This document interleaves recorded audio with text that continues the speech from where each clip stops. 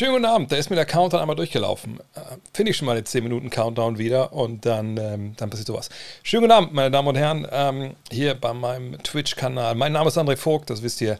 Ich spreche über Basketball hier in meinem Podcast God Next. Äh, ich schreibe drüber, äh, in meinem, oder nicht in meinem, aber in dem Magazin, wo ich Chefredakteur bin, namens Five.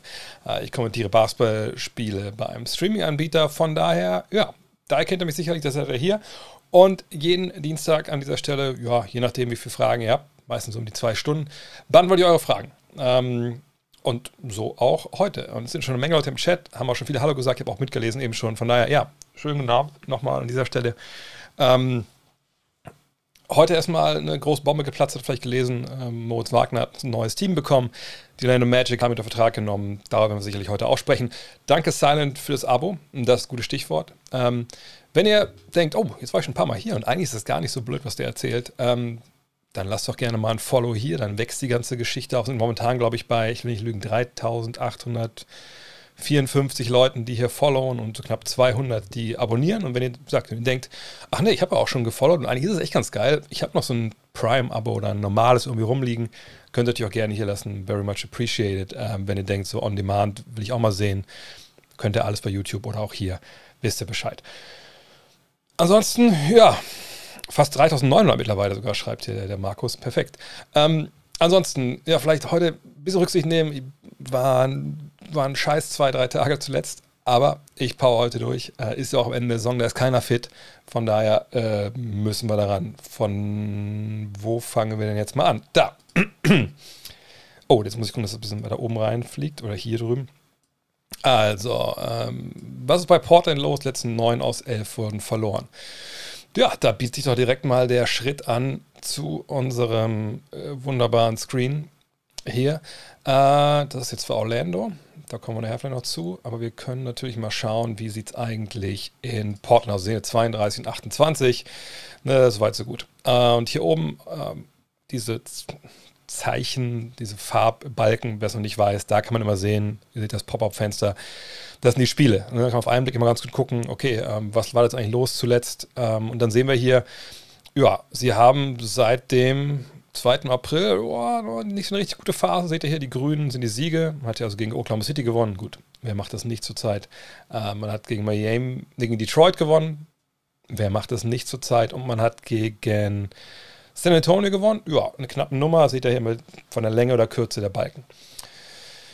Sprich, wir haben gesagt, sie stehen bei 32 und 28, also ein bisschen mehr als die Hälfte ihrer Spiele haben sie gewonnen. Und äh, wenn wir jetzt quasi bis hier betrachten, bis Ende März, dann ist das ja auch, kommt ja auch hin. Ne? Hier mal eine längere Niederlagenserie, dann noch ein paar Spiele in Folge gewonnen. Und jetzt hier diese diese Phase. Was sehen wir da? Also eigentlich, wenn man ehrlich sind, hier eine Niederlage in Milwaukee ist vollkommen okay. Da kann man, muss man nichts gegen machen. Sagt, okay, hier haben sie geschlagen, ist gut. Äh, man kann gegen Clippers verlieren, auf jeden Fall. Äh, man kann auch gegen Utah verlieren. Also man hat quasi drei Reisen bekommen hier von drei Top-Teams. Nix Schlimmes. Dann sagt der Sieg gegen, äh, was war das? Detroit, ne? Ja. Dann Niederlage gegen Miami. Ja, okay, Miami ist ein bisschen up und down. Ne? Da muss man nicht unbedingt verlieren. Und jetzt kommen natürlich diese ganzen Geschichten hier. Und von, von da bis da ist es ungefähr okay. Ne? Also zwei Siege, vier Niederlagen. Wenn du 50 Prozent deiner Spiele gewinnst, dann ist das mal drin so. Und jetzt halt hier diese, was sind sechs Niederlagen in sieben Spielen. Also knapp gegen Boston, einen Punkt verloren. Dann knapp gewonnen gegen San Antonio Spurs. Dann mit acht verloren gegen Charlotte. Sicherlich unnötig. Äh, und Charlotte macht es momentan echt gut. Mit einem gegen die Clippers verloren mit einem gegen Denver verloren, mit zwei gegen Memphis verloren und jetzt zuletzt mit sieben gegen Memphis. Und ich glaube, ihr kennt die Antwort schon, die ich jetzt geben will. Es ist nichts los mit den Portland Trailblazers, es ist einfach richtiges Pech. Denn eigentlich diese Klatschsituationen sind ja wie gemacht für Damian Lillard. So. Und es war jetzt auch nicht der Fall, dass man jetzt gesagt hätte, die hätten irgendwie jetzt komplett out of character hier gespielt, irgendwie, keine Ahnung, nur 95, 96 verloren oder 130 zu 131, sondern ne, das sind ganz normale Ergebnisse hier. Sie haben halt nur echt knappe Dinge. Ich meine, zwei Punkte, eins, also vier Punkte haben sie drei Spiele verloren. Und wenn du davon ausgehst, dass, ne, wenn man das irgendwie 100 Mal durchwürfelt, dann gewinnen sie wahrscheinlich ja, ungefähr die Hälfte von den Würfelgeschichten, äh, gewinnen sie halt dann auch alle drei oder was weiß ich, oder zumindest zwei davon. Und dann bist du genau da, wo sie eigentlich normalerweise sind, so von der, ähm, von der Bilanz her. Deshalb würde ich da jetzt nicht so viel reinlesen wollen. Ähm, einfach Pech gehabt jetzt mit den Geschichten. Sagt, wenn sie zwei von den drei Spielen gewinnen, dann reden wir nicht darüber, dass das jetzt äh, ein riesiges Problem war. Danke the, for the win. Ähm, und es waren einfach auch super schwere Spiele. Ne? Wenn dann halt Milwaukee kommt, wenn Utah kommt. Die Spiele kannst du halt mal verlieren. Von daher, nö, ich sehe da jetzt keine große Problematik. Die Blazers sind die Blazers. Gut im Angriff, schlecht in der Verteidigung. Und das wird in den Playoffs letzteres wirklich zum Problem werden. Ähm, da kommen wir schon zu Moritz Wagner. Ist Orlando das perfekte Team für Mo Wagner, um sich für die nächste Saison zu empfehlen? Das müssen wir abwarten. Ich hatte im Podcast darüber gesprochen. Ähm, jetzt kann ich schon mal nebenbei mal wieder Orlando aufrufen. Ähm, und es gibt mir die Chance, mal eine neue Seite zu euch zu zeigen. Und zwar was so Depth Charts angeht. Ich nutze da oft ESPN, aber es gibt auch hier ähm, Roto World. Wenn ihr auch viel Fantasy Basketball spielt, kennt ihr das vielleicht auch schon. Also jetzt hier den Depth Chart der ähm, der Orlando Magic. Und das ist ein bisschen, finde ich, aufgeräumter als bei ESPN vielleicht. Äh, wir sehen immer den Starter oben weg und dann dahinter dann, ne, wie sie dann eingewechselt werden. Normalerweise, wenn ein Rot da steht, sieht man verletzt. Diese weißen Blätter Papier hier, die zeigen, dass es da irgendwelche News gibt. Und wir sehen, Moritz ist schon eingepflegt äh, hinter Wendell Carter Jr., aber vor Mo, äh, vor Mo Bamba, was relativ äh, spannend ist, auf Center eingepflegt. Das kann man wahrscheinlich erstmal relativ vernachlässigen. Natürlich ist das ein, äh, ein Spot, den ich auch schon ausgemacht hatte in dem, in, äh, in dem Podcast als möglicher, ein mögliches Ziel von ihm. Jetzt nicht unbedingt, weil es perfekt wäre, sondern weil das die Magic halt eine Art Franchise sind, die genau eine Situation sind, um jemanden wie Morris jetzt so kurz vor knapp, also kurz vor Toresschluss, sage ich mal, diese Saison nochmal an Bord zu holen. Junge Mannschaft, es geht eigentlich um nichts. Man hat die Gelegenheit, weil man Platz im Kader hatte, Leute reinzuholen und sich die anzuschauen ähm, bis zum Sommer. Ähm, entweder in Partien oder generell, ne, wie die auf einen wirken. Nicht unbedingt im Teamtraining. Teamtraining gibt es momentan nicht wirklich, aber ne, wenn man sagt, okay, Moritz, wir möchten, dass du mal an den und den Sachen arbeitest, zumindest für die und die Drills mal läufst, so vor den Spielen. Ne? Du kommst mit dem ersten Bus reingefahren hier äh, in die Halle und dann gehen wir eine Stunde durch deine, durch deine Drills. Und wenn man Basketball gespielt hat, der weiß, wenn du eine Stunde oder eine halbe Stunde alleine arbeitest in Drills danach weißt du, was du gemacht hast. So. Äh, und ich denke, das wollen sie machen. Sie wollen ihn sich holen, sie wollen schauen. Das ist quasi wie so ein, wie so ein Draft-Workout nochmal. Na klar, er ist jetzt schon ein paar Jahre in der Liga, aber ne, wenn du den Spieler in die eigenen Hände bekommst, siehst, wie der umgeht, äh, mit Anweisungen, die du gibst, ähm, ne, mit den Drills, wie er durchbeißt auch mal, das ist schon eine Menge wert. Kriegt er jetzt die Spielzeit? Jetzt kriegt er die Chance, sich dann in den Partien zu zeigen und dann auch wirklich zu zeigen, hey, ich treffe meinen Dreier, ich kriege das hier hin mit Enthusiasmus und Defense etc.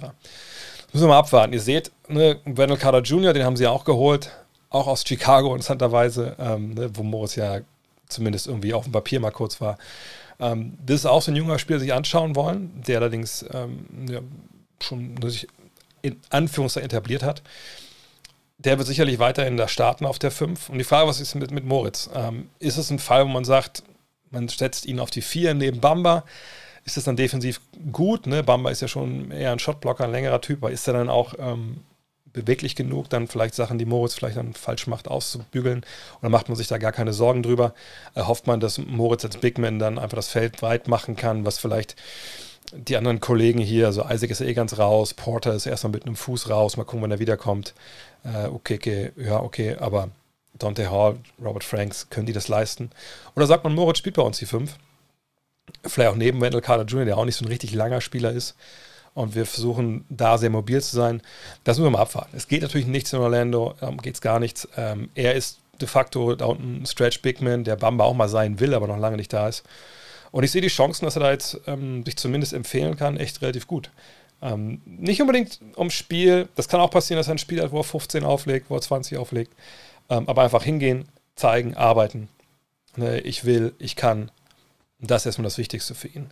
Und ähm, ist schön, dass es geklappt hat. Ähm, hoffen wir wirklich, dass auch jetzt eine Sache ist, wo das Team wirklich Interesse hat an ihm und nicht irgendwie so, wo sein Agent äh, mit dem Team so ein Deal gemacht hat, ach, holt ihn noch mal rein, werft ihn ab und zu mal kurz rein, bei euch geht es um nichts mehr, habt ihr bei mir einen gut. So, ne, das wäre natürlich auch möglich. Ähm, dann müssen wir, müssen wir mal abwarten, genau, was da halt dann passiert. Noch eine Mo-Frage. Ähm, ist das die letzte oder erste Chance für Mo? Letzte würde ich nicht sagen. Ähm, wenn ihr den Podcast von Julius und mir gehört habt, in Rapid Reaction am Mittwoch war es, glaube ich, Donnerstag. Ähm, da haben wir auch darüber gesprochen, dass natürlich beim Moritz auf ankommt, dass er einen Dreier trifft. Ne? Wenn du als Stretch Vierer, Fünfer vor allem äh, in der NBA funktionieren willst, dann musst du auch natürlich deinen Dreier treffen. So. Und ähm, wenn er das jetzt zeigen kann, perfekt. Allerdings sind es auch nur noch ein paar Spiele. Ähm, ne? Kommt eher darauf an, glaube ich, dass er da jetzt, wie gesagt, wenn er da bleiben soll, da überzeugt und dann schauen. Aber ist die Chance jetzt besser oder schlechter als vorher? Ich meine, bei den Lakers war es so, die wollten gewinnen, die wollten in die Playoffs. Da war es als Rookie für ihn, noch für Isaac Bonga Isaac Bonga natürlich nicht leicht. Ähm, in Washington, ja, war es ja so ein, so ein, so ein Twitter-Ding. Ne? Einerseits junge Mannschaft, Neuaufbau, andererseits Beal und Westbrook. Ähm, das hat auch vorne und hinten nicht gepasst. Irgendwie Im ganzen Kader passt es da vorne und hinten irgendwie nicht, auch wenn es momentan nicht gut läuft. Ähm, und jetzt bei den Celtics, ja, sie hatten Luke Cornett da auch, ähm, der bringt mehr von dem, was die halt brauchen. Und dann, ja, mal gucken. Aber Orlando ist jetzt nicht die letzte Chance, war auch nicht die, ähm, die erste echte, wenn ich ehrlich bin. Dafür ist die Saison auch zu weit fortgeschritten. Ähm, mm, mm, mm. mm. Netz oder Philly an der 1 im Osten am Ende der Saison ist ja doch recht wichtig für den Strength of Schedule in der Postseason. Ist es denn so wichtig? Guck, ich gucke gleich mal nach. Ähm, gehen wir auch hier mal direkt mal auf den Screen. So, wenn wir hier schauen, Eastern Conference, haben wir Brooklyn, Philly, Milwaukee. Ich habe es am Wochenende auch on air gesagt. Ich denke, das ist noch lange nicht gegessen, ähm, wer da jetzt äh, im Endeffekt an, an erster Stelle reingeht. Das wird noch richtig, richtig heiß werden. Ähm, allerdings, wenn man sich anschaut, das kann man ja hier so schön sehen, ähm, den Strength of Schedule, also Remaining, also die letzten ähm, Spiele der regulären Saison, dann sieht man, oben ist der, der schwerste Spielplan, weil hier geht es ja nur ums Tanken. Also Tankathon ist eine Seite, wo man gucken kann, wie wahrscheinlich ist, dass meine Truppe eigentlich tankt. So, oder wie gut stehen die Chancen. Zum Beispiel bei den Spurs, wenn die tanken wollen würden, hätten sie auf jeden Fall ein, ein gutes Restprogramm, weil ne, die Teams, die jetzt kommen, echt stark sind. Hier unten wird es aber locker. Und die Memphis Grizzlies haben das lockerste Restprogramm. Und wir sehen hier schon, die Sixers ist das zweitlockerste die Bucks auch vorne mit dabei. Oh, oder hinten in dem Fall. Und Brooklyn ist irgendwo in der Mitte. Heißt jetzt, dass Philly auf jeden Fall erst wird, natürlich nicht. Aber ähm, auf jeden Fall ne, gibt es da Chancen. So, wenn wir jetzt schauen, Strength of Schedule auf der 1. Ähm, also wenn wir davon ausgehen, sagen wir mal 1 bis 8 kommen jetzt rein. Wir gucken jetzt mal rein aufs Play-In-Tournament. Dann würdest du sagen, 1 gegen 8. Charlotte, ja, spielen gerade überragend, finde ich, ne, für dem, das, was sie haben. Man sieht, Borrego ist wirklich einer, ein Kandidat für Coach of the Year. Ähm, alle Verletzungen, die die wegstecken. Aber ich denke, egal ob du Brooklyn, Philly oder Milwaukee bist, also vor Charlotte hast du keine Angst. So. An zwei wird es schon interessanter. Ne? Miami bei allen Problemen, die die derzeit haben, irgendwie haben wir natürlich auch da Recency Bias und denken, naja, letztes Mal, als wir die Playoffs gesehen haben, haben die halt äh, alles weggefiedelt im Osten und waren im Finale.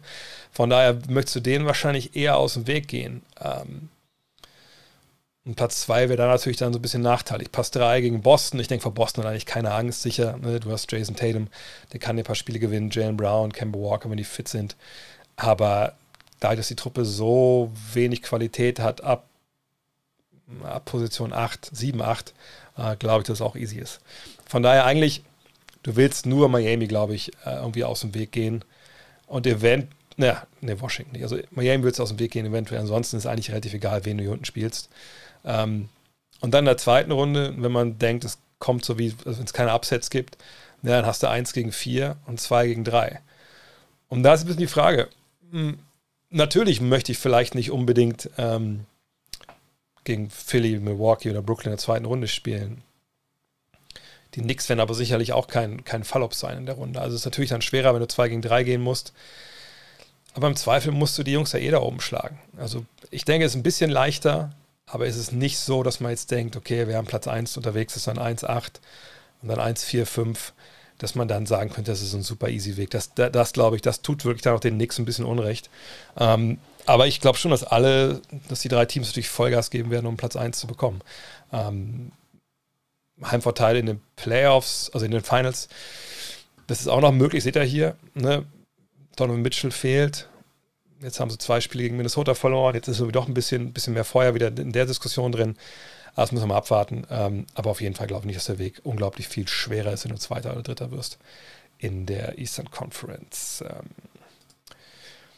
Was war das Resümee von Isaiah Thomas bei den Pelicans? Ich glaube, das, was ich auch angekündigt hatte. Ne? Ähm, man hat ihn sich reingeholt, obwohl man eigentlich jetzt so nicht wirklich einen Guard brauchte. Er ist hingekommen, hat gezeigt, ey, ich weiß, wo der Korb hängt, ich weiß, wie ich den Ball reinwerfe. Ähm, wer mich irgendwer braucht, ich bin da. Hat ihn bisher jemand gebraucht? Nee, nicht so wirklich. Ähm, weil eben, ich meine, sagen wir es, wie es ist. Isaiah Thomas ist eben auch nicht gewachsen auf einmal, sondern das ist halt weiterhin Leichtbauguard mit großen defensiven Problemen. Mhm. Und da muss man halt sich einfach die Frage stellen, macht es Sinn, sich den dir zu holen, wenn du in den Playoffs erreichen willst? Wahrscheinlich nicht, weil das einfach eine klare defensive Sollbruchstelle ist. Und zum anderen ist halt die Frage, willst du ihn dir holen, wenn du ein Team bist, das in Lottery geht? Wenn du eher vielleicht einen Youngster reinwerfen könntest, der sich entwickelt. Äh, von daher glaube ich, ist es für ihn einfach auch schwer. Habe ich auch ein paar Mal schon gesagt, hier ein Team zu finden. Aber dass er das gut gemacht hat, ja, klar. Okay, glaube ich, was man erwarten konnte. Aber ähm, das ist nichts, was irgendwas verändert hätte. Ähm, dip, dip, dip, Kann Joe Harris zum X-Faktor werden? Ich ehrlich gesagt glaube nicht, dass Joe Harris ähm, sich qualifiziert für X-Faktor. X-Faktor, damit verbinde ich. Also ich mag das Wort eh nicht, wenn ich ehrlich bin, weil ich immer glaube, ja, ja, also was ist denn, Beispiel in dem, dem, dem Fall jetzt hier? Die Frage ist ja, ist Joe Harris, wenn er seine Rolle spielt, wichtig für die Mannschaft? Naja, klar. Also ich meine, das ist Joe Harris. Also der hat seine Rolle. Es ist ein, einer der besten Dreierschützen momentan in der Liga. Wahrscheinlich, wenn Clay Thompson ähm, nicht da ist, der beste Catch-and-Shoot-Typ, den wir haben in der Liga. Natürlich ist das ein, ein wichtiger Faktor. So, ist er ein X-Faktor im Sinne von, der würde total überperformen, was man von ihm so erwartet? Dann sage ich, nee, also man erwartet ja von ihm, dass der seine Dreier trifft, er Platz macht für andere. So, also wo kommt jetzt dieses X rein? Das, das sehe ich irgendwie nicht. Ähm, ist er jemand, der dann jetzt auf einmal frei steht, was man vorher vielleicht nicht gedacht hätte, und er dann die Würfe bekommt, die halt Durant, Irving und Harden von der Defense weggenommen werden, weil man von Joe Harris raushilft? Da muss man eher mal auf ähm, Landry Shamet gucken, auf, auf, auf Bruce Brown, auf ähm, Nick Claxton etc. Also je nachdem, wer sonst da mitspielt. Denn Joe Harris ist eine bekannte Größe, der immer seine Aufmerksamkeit bekommen wird. Würde er Spiele haben, wo der durchdreht? Na klar, weil er Joe Harris ist und nicht, weil er ein X-Faktor ist. Wenn wir einen X-Faktor suchen, wie gesagt, ich mag das, den, den, den Term nicht, aber ne, wenn wir einen suchen, dann ist es zum Beispiel Nicholas Claxton. Wenn der dabei ist und so verteidigt, wie er bisher gemacht hat, dann ist das ein Game Changer für die Nets. Ich sage nicht, dass wir eine Defense haben, die meisterschaftswürdig ist, aber ähm, wenn er dabei ist, dann hilft er echt extrem viel, was das angeht.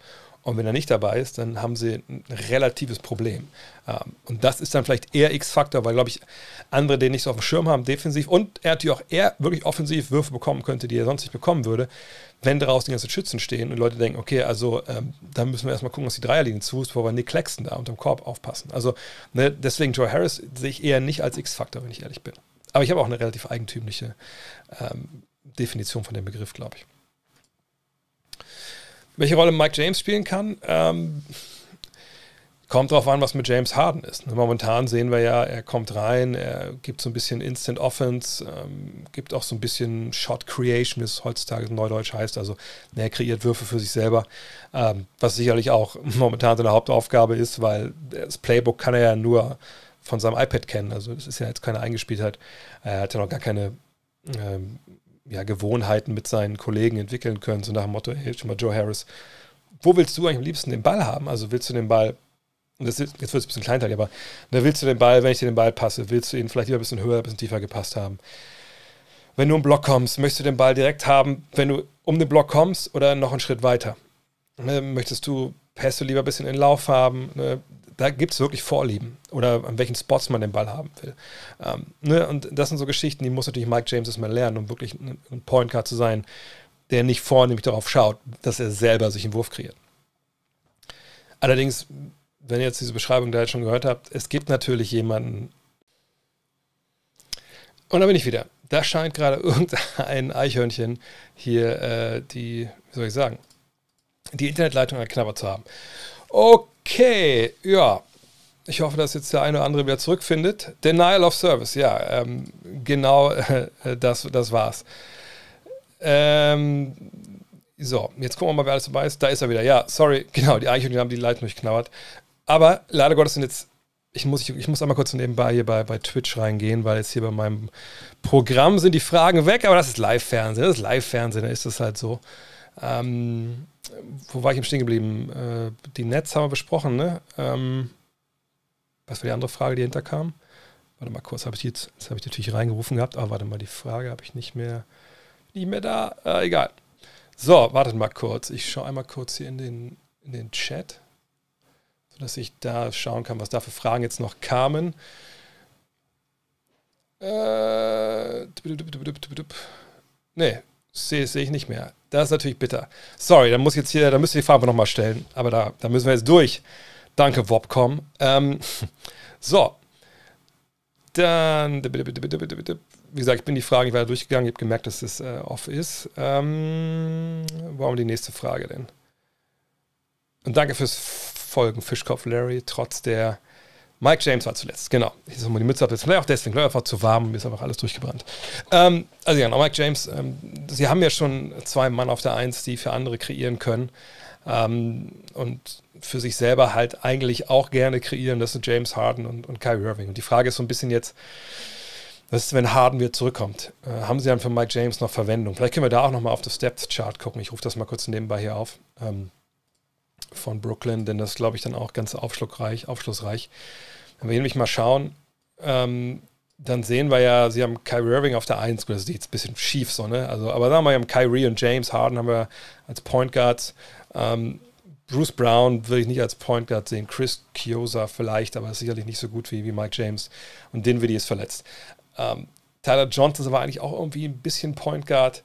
Also würdest du dann sagen, James ist ein dritter Mann und, und, und Kyrie geht nur noch auf die zwei.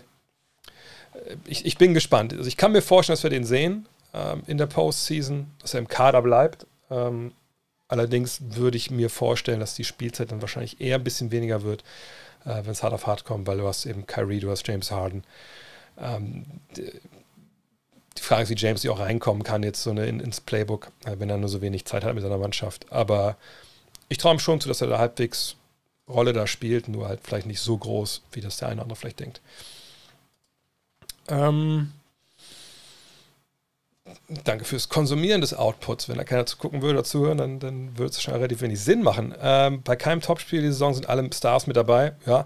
Ist das nur meine subjektive Wahrnehmung, da ich nur am Wochenende schauen kann oder was liegt deiner Meinung danach dran? Ähm, könnte auf Dauer die Attraktivität der Liga durch verloren gehen. Ja, ich meine, das, ist, das sind die Geister, ähm, die die NBA da gerufen hat dieses Jahr ähm, mit diesem Spielplan. Ähm, ich habe es auch, auch schon im Podcast einmal verbalisiert dass es natürlich so ist, dass jetzt viele natürlich sagen, ah, guck mal die Liga, ne? die verheizen die Jungs und die sind schuld, warum sind es denn 72 Spiele geworden und nicht 62 oder 60? Und warum hat man denn nicht ähm, später angefangen, etc. pp.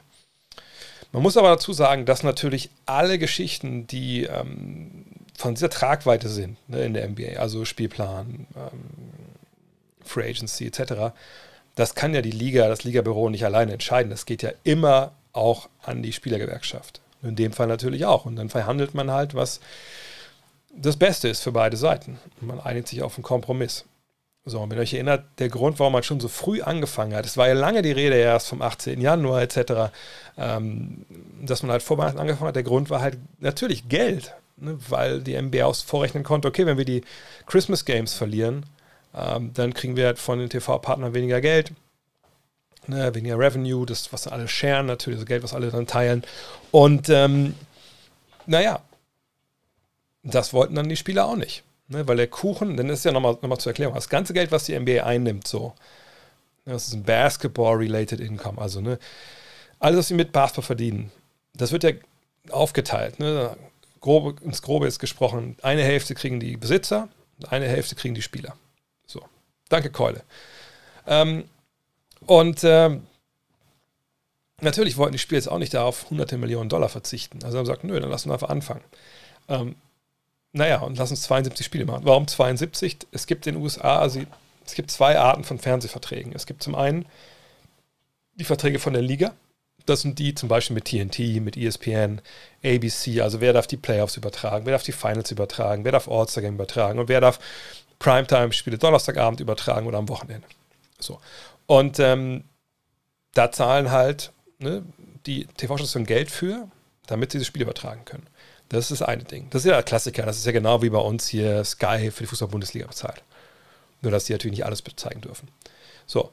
Und ähm, dann ist es so, dass die Teams, weil natürlich von den Charlotte Hornets zum Beispiel nicht 82 Spiele oder 41 Heimspiele sicherlich im ähm, nationalen Fernsehen übertragen werden, dass die lokal, weil in den USA gibt es immer, gibt es natürlich NBC, es gibt ABC, ne, diese, diese Sender, die im ganzen Land ausgestrahlt werden, aber diese, diese mal traditionellen Sender, bei diesen neuen ne, Kabelsendern ist nicht so, aber bei den traditionellen Sendern ist es so, dass ähm, es so Affiliates gibt, also Sender in der jeweiligen Stadt, Beispiel in New York dieses Yes Network, ne, die dann halt vor Ort das also bei Yes glaube ich es nicht so, aber es gibt dann zum Beispiel auch ein NBC-Affiliate äh, in New York, die halt vor, also in New York dann das NBC-Programm ausstrahlen, aber eben auch, ne, wenn sie dann zum Beispiel äh, sich die Rechte an den Knicks-Spielen gekauft hätten, haben sie nicht, aber wenn sie es hätten, können sie die auch zeigen. So. Also es ist dann quasi ein lokaler TV-Vertrag und der ist überall so ein bisschen anders. Zum Beispiel die, ähm, die, die Lakers verdienen, glaube ich, zwei Milliarden über so ein paar Jahre damit.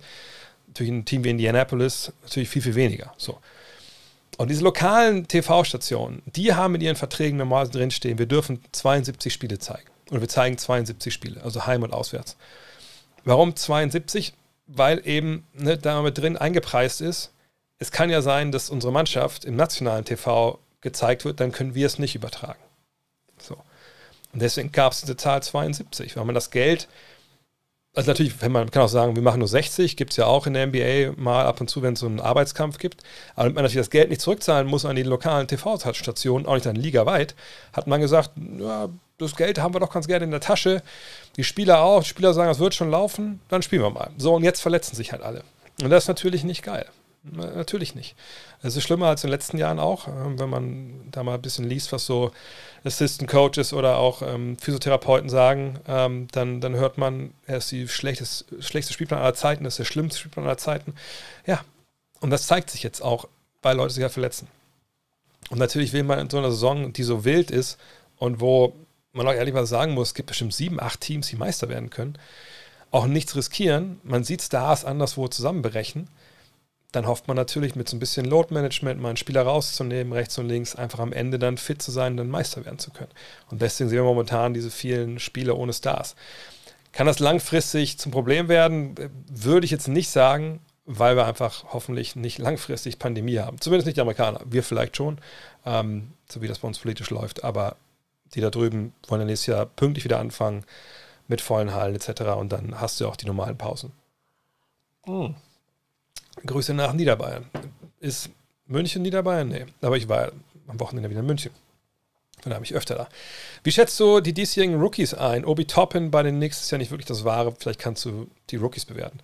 Ach, ja, möchte ich nicht unbedingt jetzt so einmal so durchgehen. Vielleicht nutze Obi Toppin. Ich glaube, der ist ein bisschen Opfer ähm, ja, vom Regime Tom Thibodeau geworden. Ähm, das meine ich gar nicht so negativ, wie es sich anhört, sondern er ist jemand, der glaube ich, noch äh, relativ roh ist und dann auch jetzt nicht so unbedingt, ähm, äh, ja, München, ich weiß nicht, wo, was, wo, für mich ist alles Bayern ab Frankfurt. So. ähm, das Ding ist halt, ich, ähm, ich glaube, Toppin, äh, wenn er woanders gespielt hätte, hätte sicherlich mehr Chancen bekommen, aber die Knicks haben von Anfang an auf Sieg gespielt. So. Was auch vollkommen okay ist. So soll es auch sein. Und Thibodeau ist ein Trainer, der presst aus deinem Kader halt einfach komplett alles raus, was drin ist. So. Und ähm, das hat er gemacht. Toppen hat auch Anlaufschwierigkeiten. Und wenn du, glaube ich, bei Thibodeau dir nicht ganz, ganz früh ähm, den, äh, den Respekt verdienst mit, mit tollen Leistungen, fehlerfreiem Spiel, dann wird es schwierig, ne, den dann irgendwann zu überzeugen. Warten wir, es nächstes Jahr läuft. Ähm, aber Toppin, ja, ist auf jeden Fall ein bisschen der Bringschuld. Äh, mal gucken. Also in New York läuft alles super. Toppin ist vielleicht ein bisschen das Einzige, wo man sagen könnte, ah, hätte man sich vielleicht ein bisschen mehr erwartet. Aber junger Mann noch, warten noch mal drauf ab. Ähm, welche beiden NBA-Karrieren würde ich denn äh, bevorzugen? Treuer Franchise-Player, der es mit seinem Team nie über die Conference Finals hinaus schafft? Oder lieber der Typ Spieler, der regelmäßig Franchise wechselt und hat sehr guter Rollenspieler, die Meisterschaft gewinnt, zum Beispiel Danny Green? Ähm, hm. ist schwierig. Ich glaube, das ist, ich glaube, rein sportlich ist, geht nichts über Meisterschaft. Also wenn du ähm, ne, wirklich das auch gewinnen kannst als einer, der beiträgt, und Danny Green hat wirklich einen großen Beitrag geleistet bei, bei vielen, äh, bei einigen der Teams, wo er Meister geworden ist, dann würde ich eher mal das machen. Ich glaube, wenn wir überlegen, damals äh, die Serie gegen Miami, ähm, das Jahr, wo es richtig amok läuft, in den Finals verlieren sie ja, ne? aber allein das, ne, äh, dass du auch dann mal so Saisons hast, wo, es einfach, wo du einfach ablieferst in den Finals, auch wenn du nicht gewinnst, das finde ich, ist, ist fast schon mehr wert, als wenn du so Franchise-Player bist. Ähm, klar kannst du da vor Ort eine absolute Legende sein und, äh, und, und alle, was weiß ich, eine kriegst, kriegst eine Straße vor der Halle wie, wie Dirk und so. Das hat was für sich. Aber ich finde, wenn du einen Beitrag leisten kannst, so ein Meisterteam, dann würde ich das immer irgendwie so dem, dem All-Star, Superstar-Status ohne Chance auf den Titel vorziehen, wenn ich ehrlich bin. Das hat nichts mit Treue oder sowas zu tun. Ich meine, Dame Lillard, ich weiß das super zu schätzen, was der macht. Äh, ich rechne es Dirk auch hoch an, dass er die ganze Zeit in, in Dallas geblieben ist. Und für ihn hat es sich ja dann auch gelohnt. Aber ich glaube, wenn ihr selber mal gespielt habt und ist, mal Meister geworden seid oder einfach irgendeinen Pokal gewonnen habt, ich meine, ich, vielleicht klingt es total blöd, aber wir sind damals mit der Deutschen Sporthochschule, äh, glaube ich, im dritten, was, dritte Anlauf oder der vierte? Muss ich überlegen.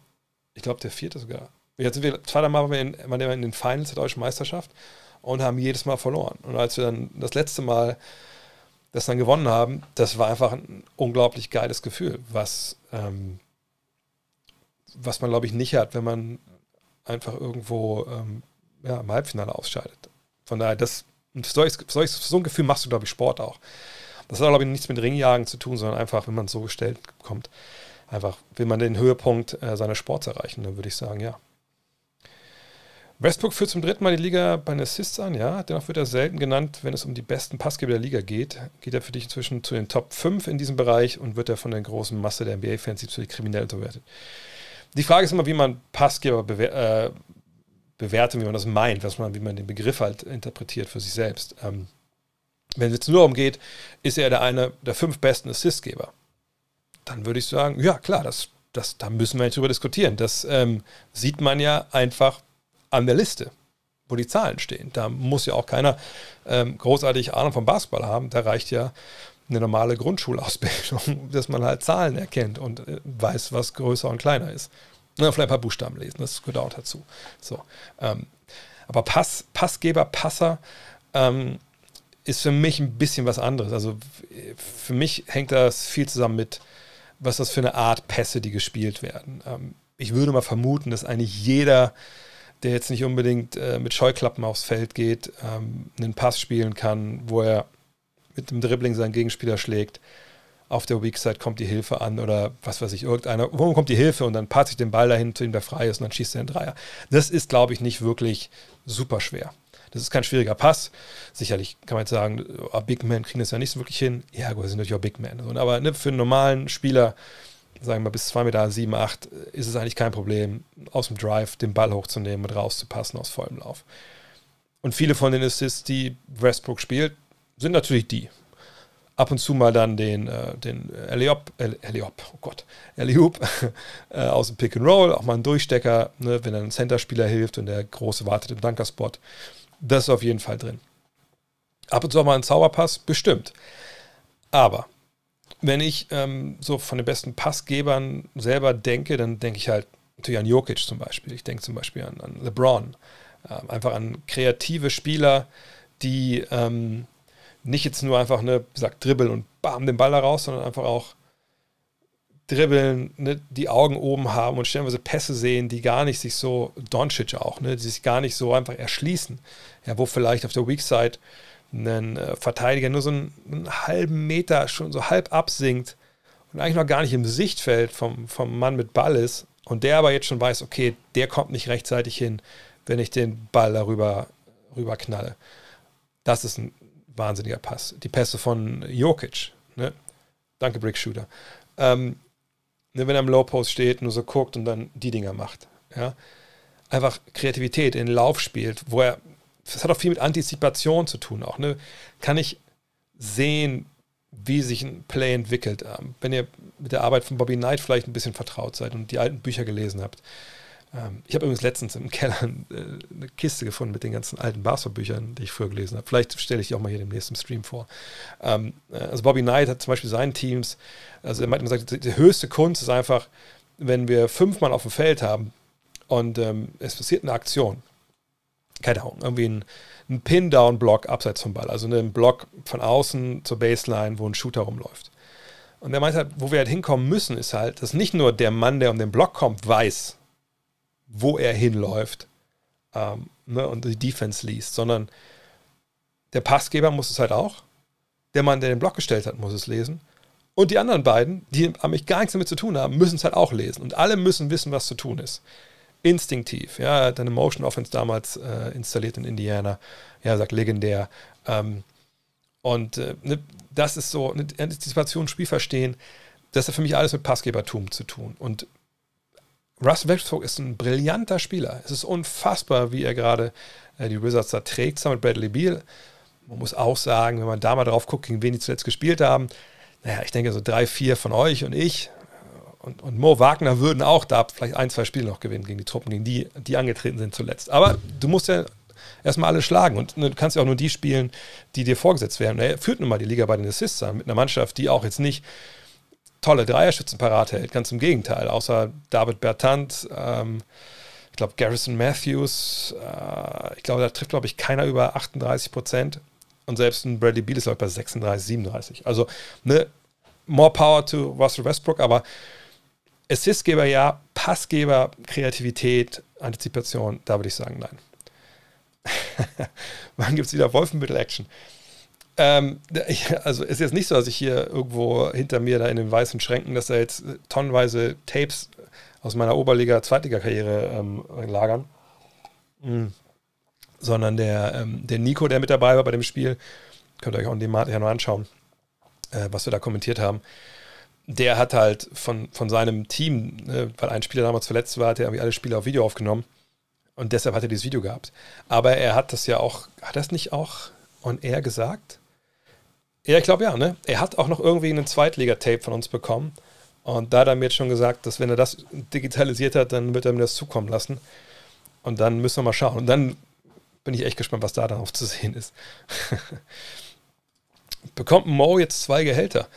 Ähm, ich habe mich da fast ein bisschen überfragt. Ähm, weil er eigentlich ne, rausgekommen, also er wurde eigentlich entlassen, das heißt, er kriegt das Geld bis zum Ende des äh, Jahres von, äh, von den Celtics. Hat einen neuen Deal unterschrieben, das ist natürlich jetzt nicht für viel Kohle. Ich kann mal nebenbei schauen, ob das schon eingepflegt ist bei Spotrack. Äh, wenn ja, könnte da ja vielleicht sogar was stehen in der Richtung. Ich schaue das mal gerade nebenbei nach. Ähm, aber geht das dann on top obendrauf? Das ist echt eine gute Frage, die ich gar nicht so auf Anhieb beantworten kann. Ich sehe gerade erst noch nicht eingepflegt hier. Ich denke, das ist ein Thema für einen Podcast. Wahrscheinlich muss ich ihn da wirklich mal fragen. Ich, ich weiß ehrlich gesagt nicht, ob er zwei Gehälter bekommt. Ähm, wenn eher noch zu verteidigen, Trey Young, De'Aaron Fox oder Towns. Ähm, Towns ist zwischendurch echt schon mal besser geworden. Ähm, zuletzt muss ich sagen, habe ich jetzt wenig Timberwolves geschaut, weil es keinen Grund gibt. Ich meine, jetzt, alles, was ich jetzt mache, ist ja auch so, mich auf die Playoffs vorzubereiten. Ähm, ich würde aber sagen, ähm, ich würde schon sagen Towns, weil als Big Man, da kommt mehr Erfahrung hinzu. Äh, du weißt besser, wie du dich positionierst, verstehst Winkel irgendwann auch besser, denke ich. Trey Young und ähm, De'Aaron Fox werden wahrscheinlich nicht mehr wachsen und auch nicht großartig an, an, an Masse zulegen. Und von daher, ja, glaube nicht, dass da viel passiert. Mit wem würdest du gern mal kommentieren bei einem Event deiner Wahl? Hm. geht es jetzt um Sport oder, oder worum geht es genau? Äh, hm.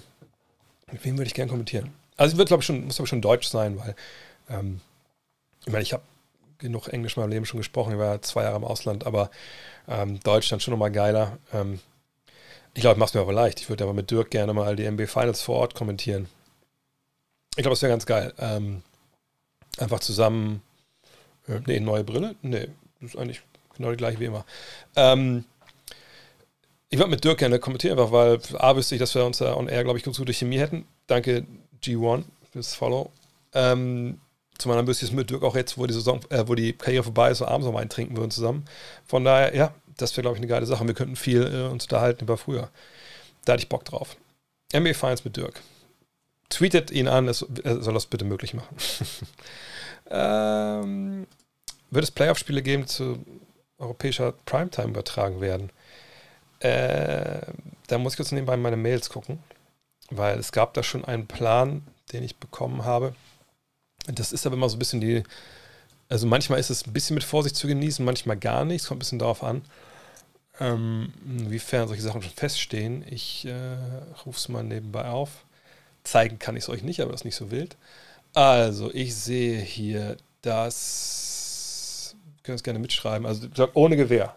Ja, aber das Wochenende vom 22. und äh, 23.05., also an dem Samstag, zwei Spiele zur Primetime kommen sollen. Ähm, ich das richtig sehe, die Woche drauf äh, auch. Also wie ich das sehe, ich habe so einen Plan bis Mai hier gehabt.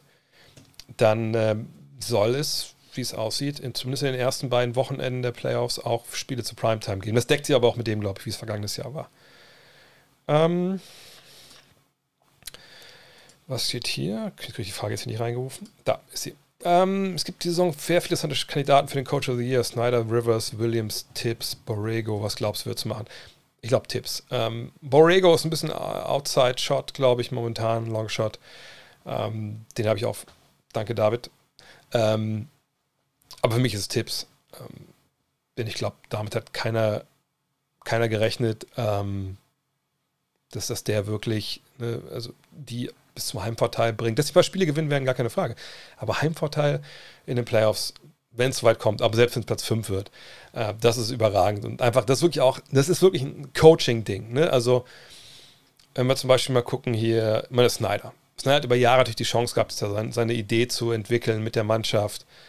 Aber das ist eben auch eine geile Truppe, die geil zusammengestellt ist. Klar hat er einen großen Anteil, aber ne, ich denke, wenn du da jetzt ähm, wenn du da jetzt einen anderen Trainer hinsetzt, der halbwegs genauso gut ist, dann läuft es wahrscheinlich ganz, ganz ähnlich so. Äh, Doc Rivers, klar, kommt dahin, folgt auf Brad Brown, installiert eine neue Offensive. Sicherlich auch ein Coaching, ähm, Coaching-Erfolg. Auf der anderen Seite muss man sagen, Joel Embiid hat sich halt einfach dedicated, wie Amerikaner sagen, also gesagt, komm, jetzt, jetzt reicht es mit der Rumeierei, jetzt machen wir wirklich mal Vollgas hier, mal gucken, was für ein geiler Spieler hier eigentlich sein kann. Und das hat ihn auf ein neues Level gehoben. Ähm, Williams, naja, die waren ja vergangenes Jahr auch schon gut. Die haben in der, in der Bubble acht Spiele gewonnen, da kommt Chris Paul dazu.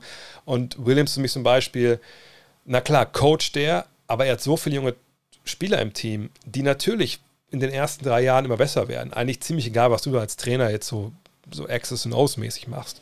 Deswegen, klar, hat er das gut gemacht, aber die Spieler sind gewachsen und er hat Chris Paul dazu bekommen. Tipps hat niemand dazu bekommen, so, ne? Tipps natürlich auch RJ Barrett, der sich verbessert hat, gar keine Frage. Ähm, aber hat sonst halt so eine Bande von Journeyman-Rollenspielern sich geholt, ne?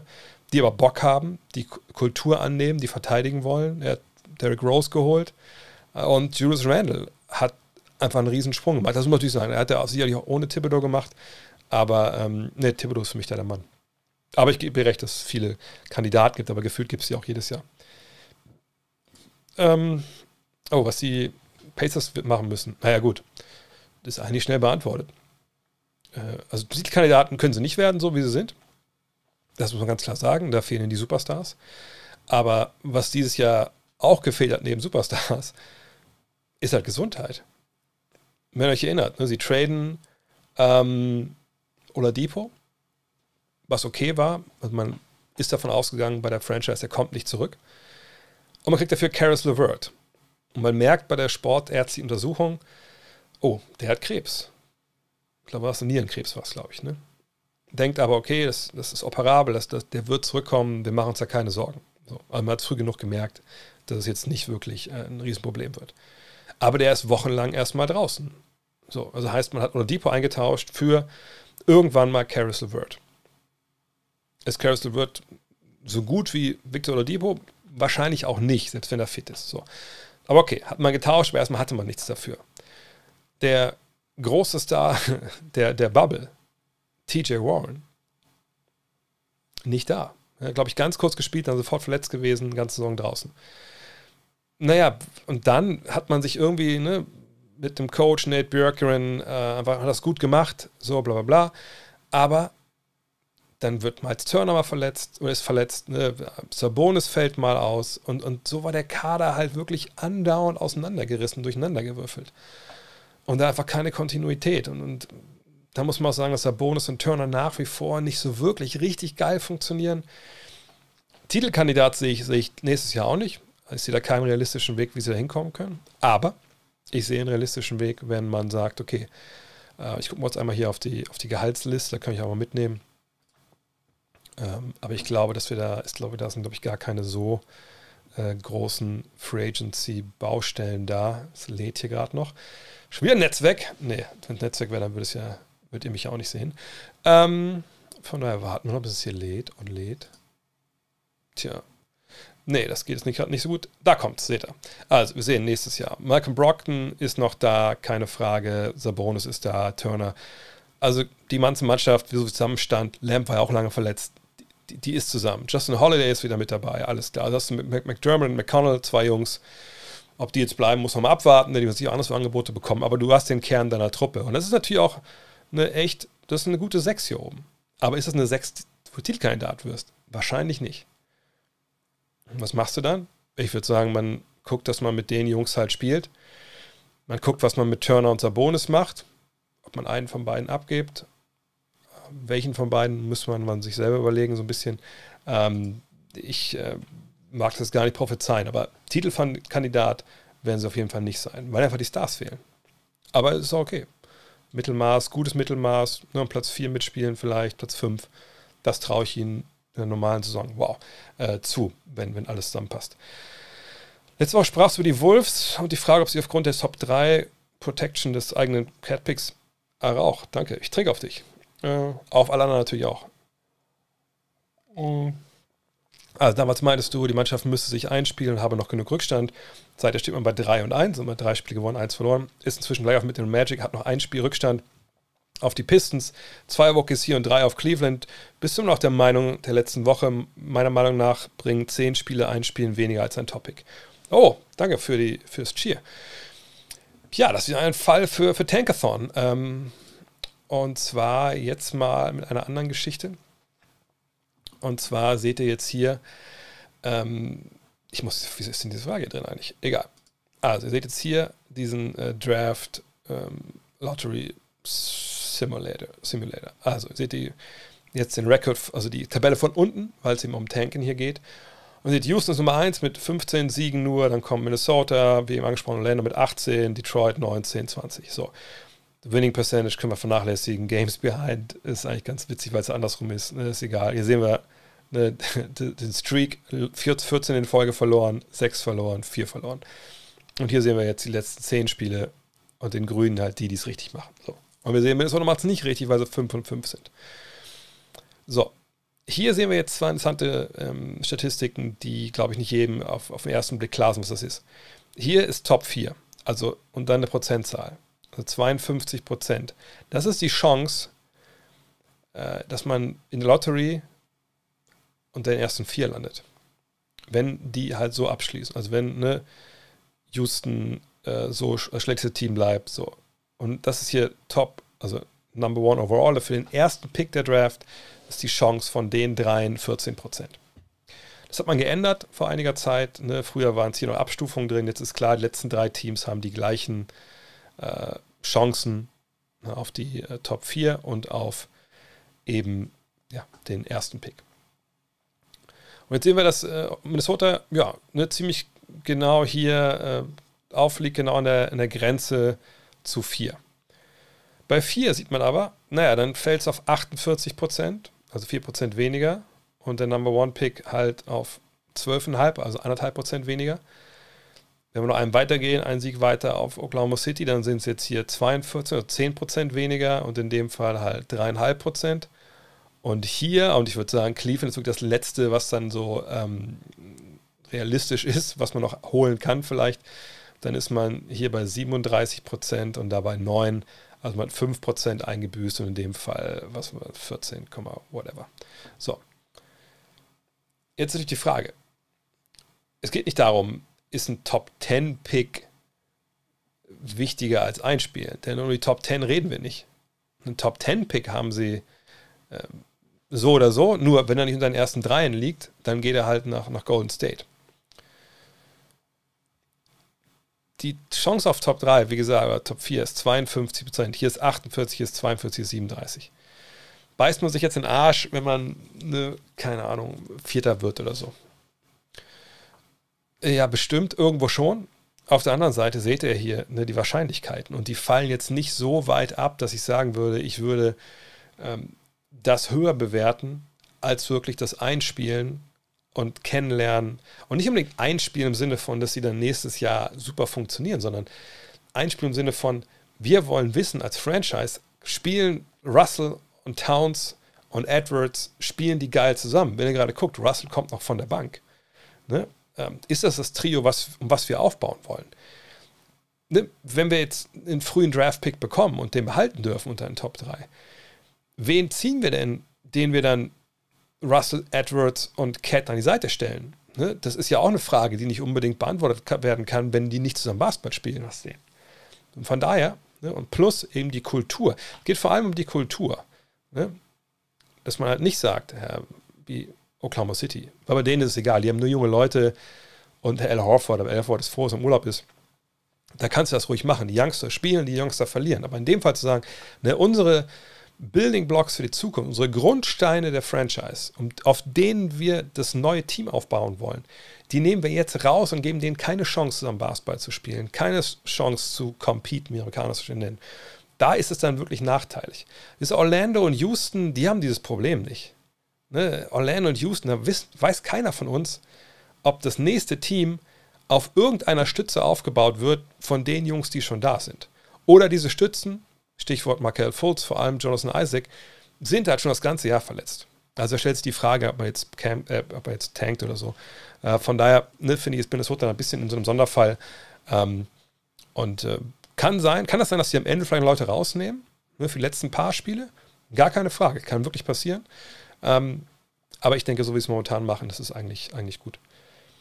So, was haben wir? Die nächste Frage von Bobby Jordan. Ähm, was sind deiner Meinung nach Stand jetzt die besten drei bis fünf Free Agents und wo könnten sie landen? Leonard, DeRozan, Depot, Lonzo Collins können gematcht werden. Weitere.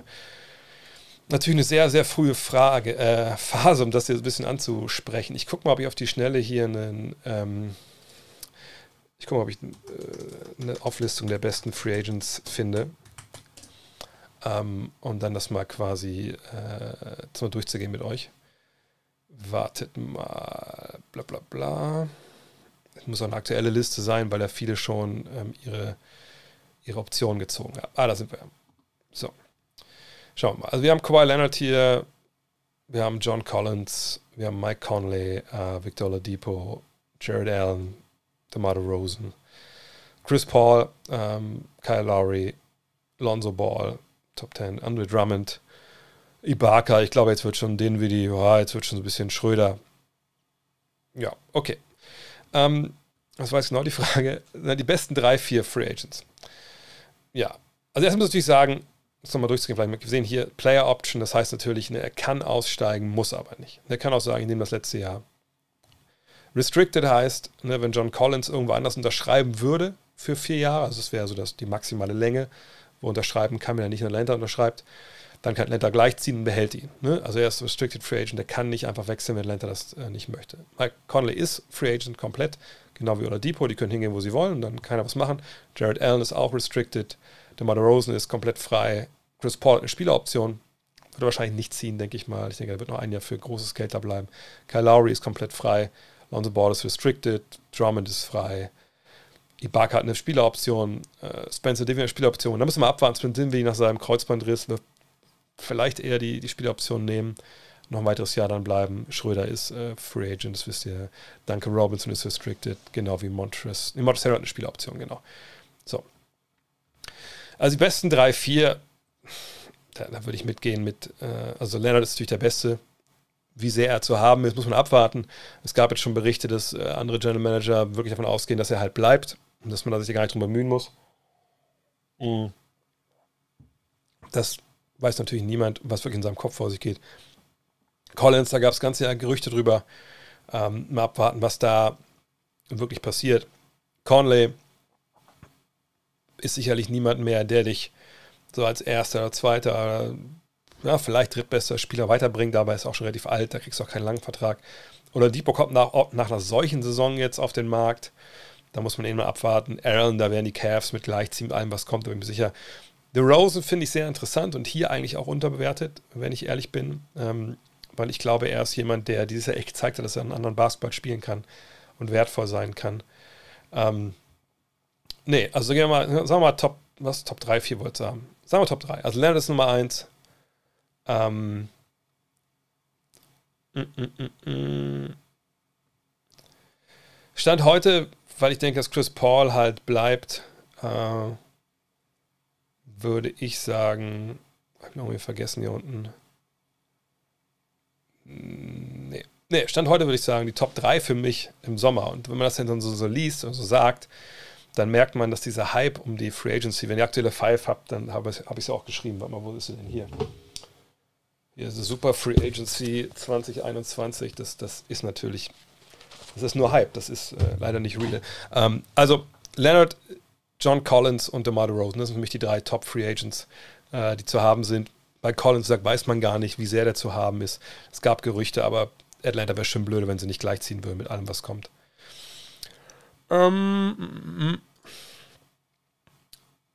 ja, ich denke, die Timberwolves könnten höher angreifen. Ich glaube, wenn dieses Jahr alle dabei gewesen wären von Anfang an und sie wären ähm, fit gewesen, und das sage ich nicht, weil sie jetzt äh, ein paar Spiele gewonnen haben, sondern das sage ich, weil wir das auch vor der Saison in der, in der Preview so hatten. Ähm, ich bin mir sicher, dass die ums Play-in-Turn mitgespielt hätten. Also ich glaube nicht, dass die schlechter gewesen wären, großartig als, als Golden State. Ähm, Im Gegenteil, wahrscheinlich wären sie sogar besser gewesen. Ähm, von daher, äh, ja, ne, ich glaube, dass die, wenn sie ja fit sind, ne, vielleicht auf der Free Agency-Seite nochmal ein, zwei so Veteranen dazu holen, dann ist es ein Team für die Playoffs. Und sagt Playoffs immer, ne, Play-in-Tournament. Ähm, sind Doppel-Sign und Trade mäßig, ich meine auch, wäre Lauri gegen Lonzo eine Win-Win-Win-Win-Geschichte. Ähm, ich sag, weiß ich es gar nicht so genau. Ich glaube eigentlich nicht. Hm. Frage ist auch ein bisschen, warum man das machen sollte. Ne? Also, oh, es sei denn, beide sind über dem Salary Cap. Aber ähm, ehrlich gesagt, ehrlich gesagt weiß ich es nicht. Fragt man nächstes Mal nochmal, da habe ich es hab nachgeschlagen. Weil dann müsste ich mich jetzt durch Salary Cap, FAQ kämpfen. Und äh, äh, da, habe ich jetzt nicht die Zeit zu. Das ist ein unfassbar riesiges. Also ich, vielleicht zeige ich die Seite mal, weil die Fragen ja öfter kommen. Oder wie gesagt, ich mache einfach hier einen auf, äh, äh, auf äh, wenn du dir helfen willst, dir, helf dir selbst. Äh, ich suche einmal kurz das Salary Cap FAQ. Da muss ich mir erklären. Das ist ähm, eine Seite von ähm, jemandem, der Larry Kuhn heißt. Wo ist das denn? Ich suche es kurz. Ähm, und es ist, der gibt auch, der ist auch ein Professor, glaube ich, ähm, an der Uni in Kalifornien. Genau. Und der hat irgendwann mal sich zur Aufgabe gemacht, hier sehen wir den Mann auch, ähm, einfach das Salary Cap der NBA. Seht ihr, er gibt ja auch Kurse und so bla bla bla. Augenscheinlich auch jetzt on demand auch. Wenn ihr wirklich vollkommen Interesse habt, dann äh, schreibt den Mann an. Und er hat eben das ganze CBA äh, hier reingepackt in diese Seite.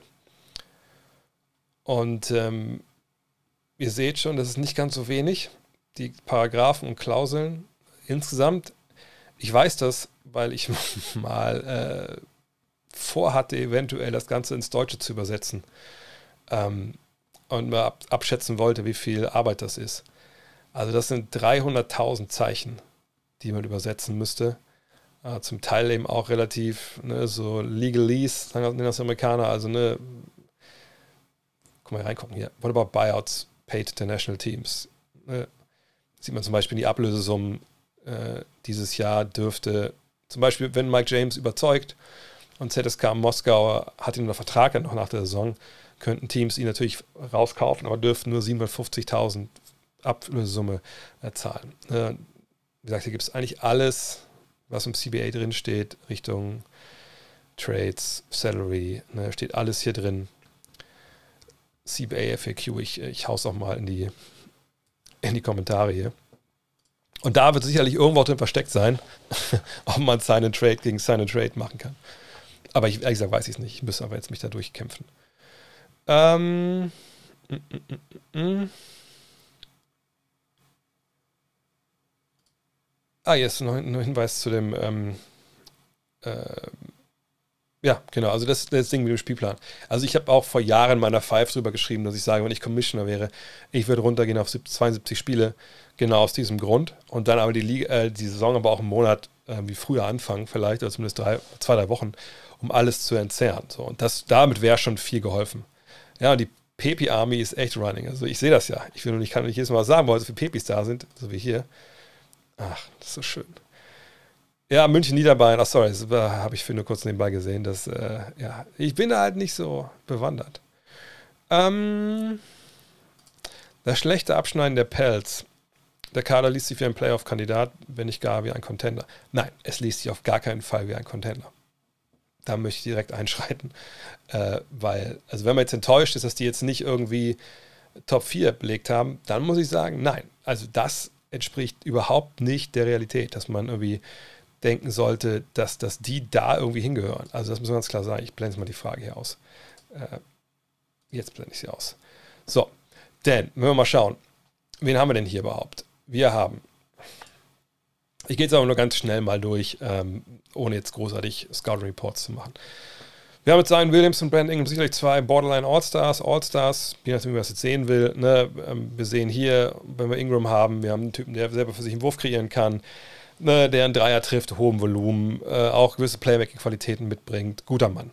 Ne, wir sehen Zion, Zion, Point Zion, wie man das gerade macht, eine überragende Quote ne, im Zweierbereich. Dreier, ja, nicht so geil, aber ne, könnte vielleicht ein bisschen mehr Rebound, sicherlich ein paar Würfe blocken, aber auf jeden Fall ein einzigartiger Basketballer, den wir so noch nicht gesehen haben. Ist aber auch erst 20. Hat erst, was hat er jetzt, wie viele Spiele hat er jetzt gerade mal eine Saison quasi abgerissen? Naja, und dann also wen haben wir denn dann in dem Kader, wo wir sagen würden, ja, aber auf jeden Fall gehören die irgendwo hin in die Top 4? Lonzo Ball. Dreier dieses Jahr extrem gut gefallen. Ich sag, ich, ich mag ihn, weil jemand ist, der den Ball schnell macht. Puh, aber also, wir können nicht davon reden, dass das einer der 15 besten Point Guards der Liga ist. Ich glaube, da leben wir uns sehr weit aus dem Fenster. Ähm, Eric Bledsoe hat seine Stärken, hat seine Schwächen, im anderen beim Dreier relativ kleiner Guard, ähm, kommt natürlich von einer Mannschaft, die große Ansprüche hatte, aber wenn ihr gesehen habt, wie abgemeldet der stellenweise in Playoffs war, könnte man auch nicht wirklich argumentieren, dass der jetzt einer ist, der ein Team aus jungen Leuten, ne, wir reden ja jetzt von drei Anfang 20ern eben, die Stabilität gibt, dass die irgendwie einen Riesensprung machen. Nicola Alexander Walker, krass überrascht für mich wirklich in der Saison bisher, äh, aber auch erst 22. James Johnson kam später zu, ja, ist einfach nur ein wandelnder Blankoscheck für die nächste Free Agency, weil der Vertrag ausläuft. Josh Hart ist verletzt, 3D, ohne wirklich ein 3. Das sage ich jetzt nicht, weil er mich vor zwei Jahren bei der Gamescom so mies abgezogen hat, bei 2K, aber äh, ne, das ist, ist ein guter Mann, aber auch keiner überragt. JJ Reddick ist ein alterner Dreierschütze, der viel besser aufgehoben ist in so einem Team wie den Mavericks, äh, wo die Strukturen stimmen.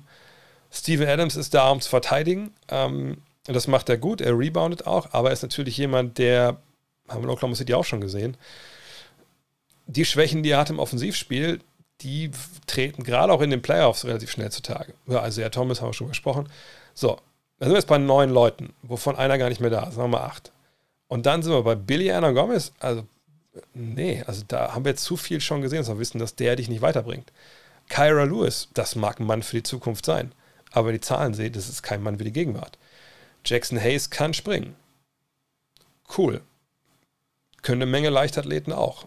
Spielen nicht in der NBA. Ich sage nicht, dass, er, dass es ein Blinder ist, aber er ist mit 20 niemanden, wo du erwarten könntest, dass der irgendwie eine Mannschaft unterstützt, die in die Finals kommst.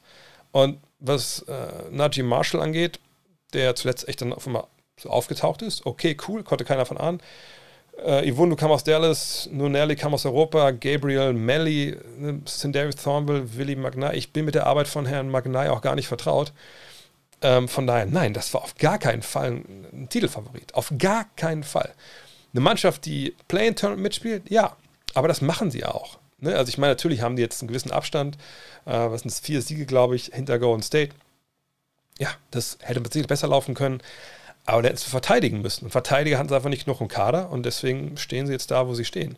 Ähm, das ist nicht richtig geil, aber ist auch jetzt nicht desaströs schlecht, wenn man ehrlich bin. Oh. Hallo Heike, erst jetzt gesehen. Ähm, der Mo Money, More Problems Podcast. Ach so, wegen, wegen Mo ist ein doppelter. Ah, ja. Mehr Geld hieß der Film früher. Ne? Die alten, Älteren werden sie nennen. Ähm, ach, Heike hat die Frage geschickt mit der Brille. Ja, die ist schon, also ist nicht super neu, aber neuer. Du guckst zum ersten Mal zu, wahrscheinlich erst deswegen. Ähm, mm, mm, mm, ja, es wäre wirklich, also ich hätte Bock auf, auf Dirk, mit Dirk was zu kommentieren. Mhm. Allerdings müsste ich ja dann die ganzen, dann wäre ich ja quasi der Kommentator und er wäre der Experte. Äh, weiß ich nicht, ob ich das so gut könnte. Aber jetzt sagt, spam Dirk ruhig zu, kein Problem. Zwingt, er kann, kann er mit dir herkommen und ich kommentiere mit Dirk hier einfach Zweitligaspiel von mir. Das wäre eigentlich noch geiler als die Finals. Gott, wäre das peinlich. Ähm, oh, die Sache hier mit dem Abo, glaube ich, haben Leute schon erklärt, wenn ich es richtig gesehen habe. Ne? Wo man NBA-Apparel kaufen kann. Also, ja, ich, ich, bin jetzt auch nicht mehr so im Apparel-Game drin, aber ich meine, Kicks.com ist natürlich immer eine gute Anlaufstelle. Ähm, der NBA Store.eu auch. Äh, auf jeden Fall nicht in China oder so. Ähm, wann LeBron zurückkommen muss, damit sie Zeit haben. Hm, ich würde schon sagen, relativ bald. Ähm, gucken wir auch da vielleicht mal auf den Spielplan. Ich habe jetzt gar nicht im Kopf, wie viele Spiele die Lakers jetzt zumindest noch haben. Also, wie sie haben, ist klar, aber gucken wir mal hier. Ähm, also, wenn wir jetzt sehen, wir sind hier, wir haben jetzt noch, was sind das, 10, 11 Spiele sind noch übrig. Ähm, also, gefühlt würde ich sagen, ähm, ja, ich glaube hier. Hier um den Dreh. An dem Wochenende vielleicht auch hier Auswärtsspiel zu Hause ist ja auch kein Thema. Also hier rum wäre das schon richtig gut. Und natürlich vor allem, wenn sicher ist, dass man nicht, oder man sicher gehen kann, auch vor allem, dass man nicht ins Play-in-Tournament muss. Denn dann hat er nochmal eine Woche, um sich dann nochmal eine, ein bisschen Trainingseinheiten nochmal reinzubringen. Ähm, ich weiß jetzt gar nicht, was bei ihm jetzt hier gerade auch, auch steht. Ähm, das Schöne ist auf der Seite, hier steht ja mal alles. Wir sehen LeBron, no update. Okay. Aber ich würde schon sagen, dass, wie gesagt, diese fünf Spiele, das wäre schon gut. Ein Auswärtstrip. Ich meine, 100% wird er hier nicht spielen, wenn es nicht drauf ankommt. Und hier vielleicht auch nicht. Okay, das ist natürlich noch ein bisschen schwierig. Ich habe es eben nicht gesehen mit den Back-to-Backs. In der perfekten Welt kommt er wahrscheinlich hier zurück. Allerdings hast du natürlich auch gleich zwei knüppelharte Spiele vor der Brust. Dann Portland. Oder du sagst, er spielt gegen Denver. Oder du sagst, perfekte Welt am 2. Mai ist er wieder da, weil wir jetzt nicht damit rechnen können, dass er die nächsten beiden Spiele macht. Ähm, setzt es Back-to-Back aus, spielt nicht gegen die Clippers, sondern spielt gegen äh, Portland. Dann hat dann Tag Pause, nimmt das mit, verpasst das Houston-Spiel oder kriegt ein paar Minuten, aber mehr nicht. Spielt dann noch wahrscheinlich gegen die Pacers vielleicht und dann macht er Pause.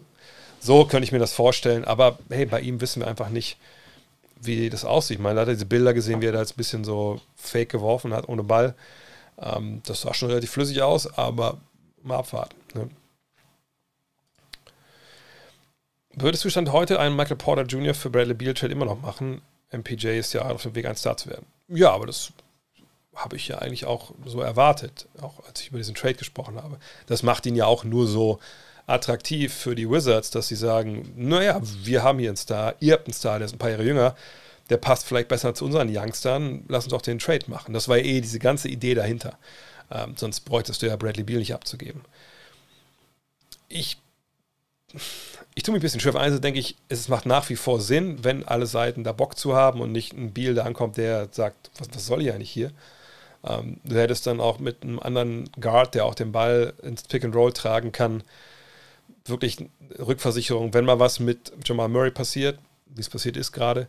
Ähm, ich würde es nach wie vor machen, ja. Kann man sich dann ärgern vielleicht, weil MPJ dann MPJ irgendwie dann voll Damok läuft und 30 pro Spiel auflegt nächstes Jahr.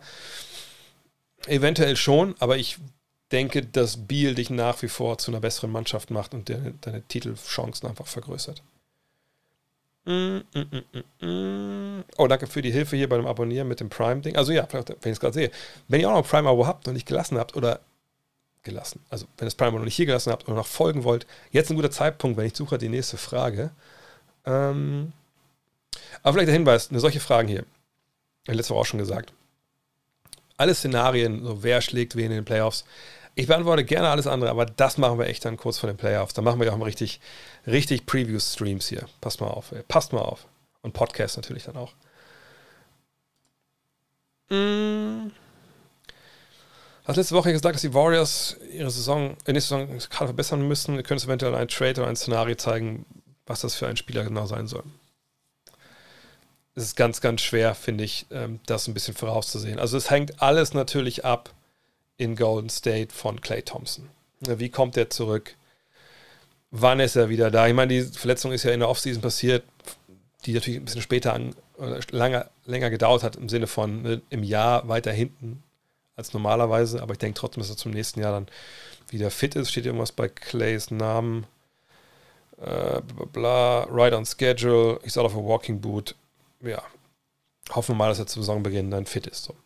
Ähm, ansonsten da kann ich vielleicht mal die, die ich suche mal nebenbei hier schnell mal die, äh, auch da mal das Salary Cap und die Situation daraus.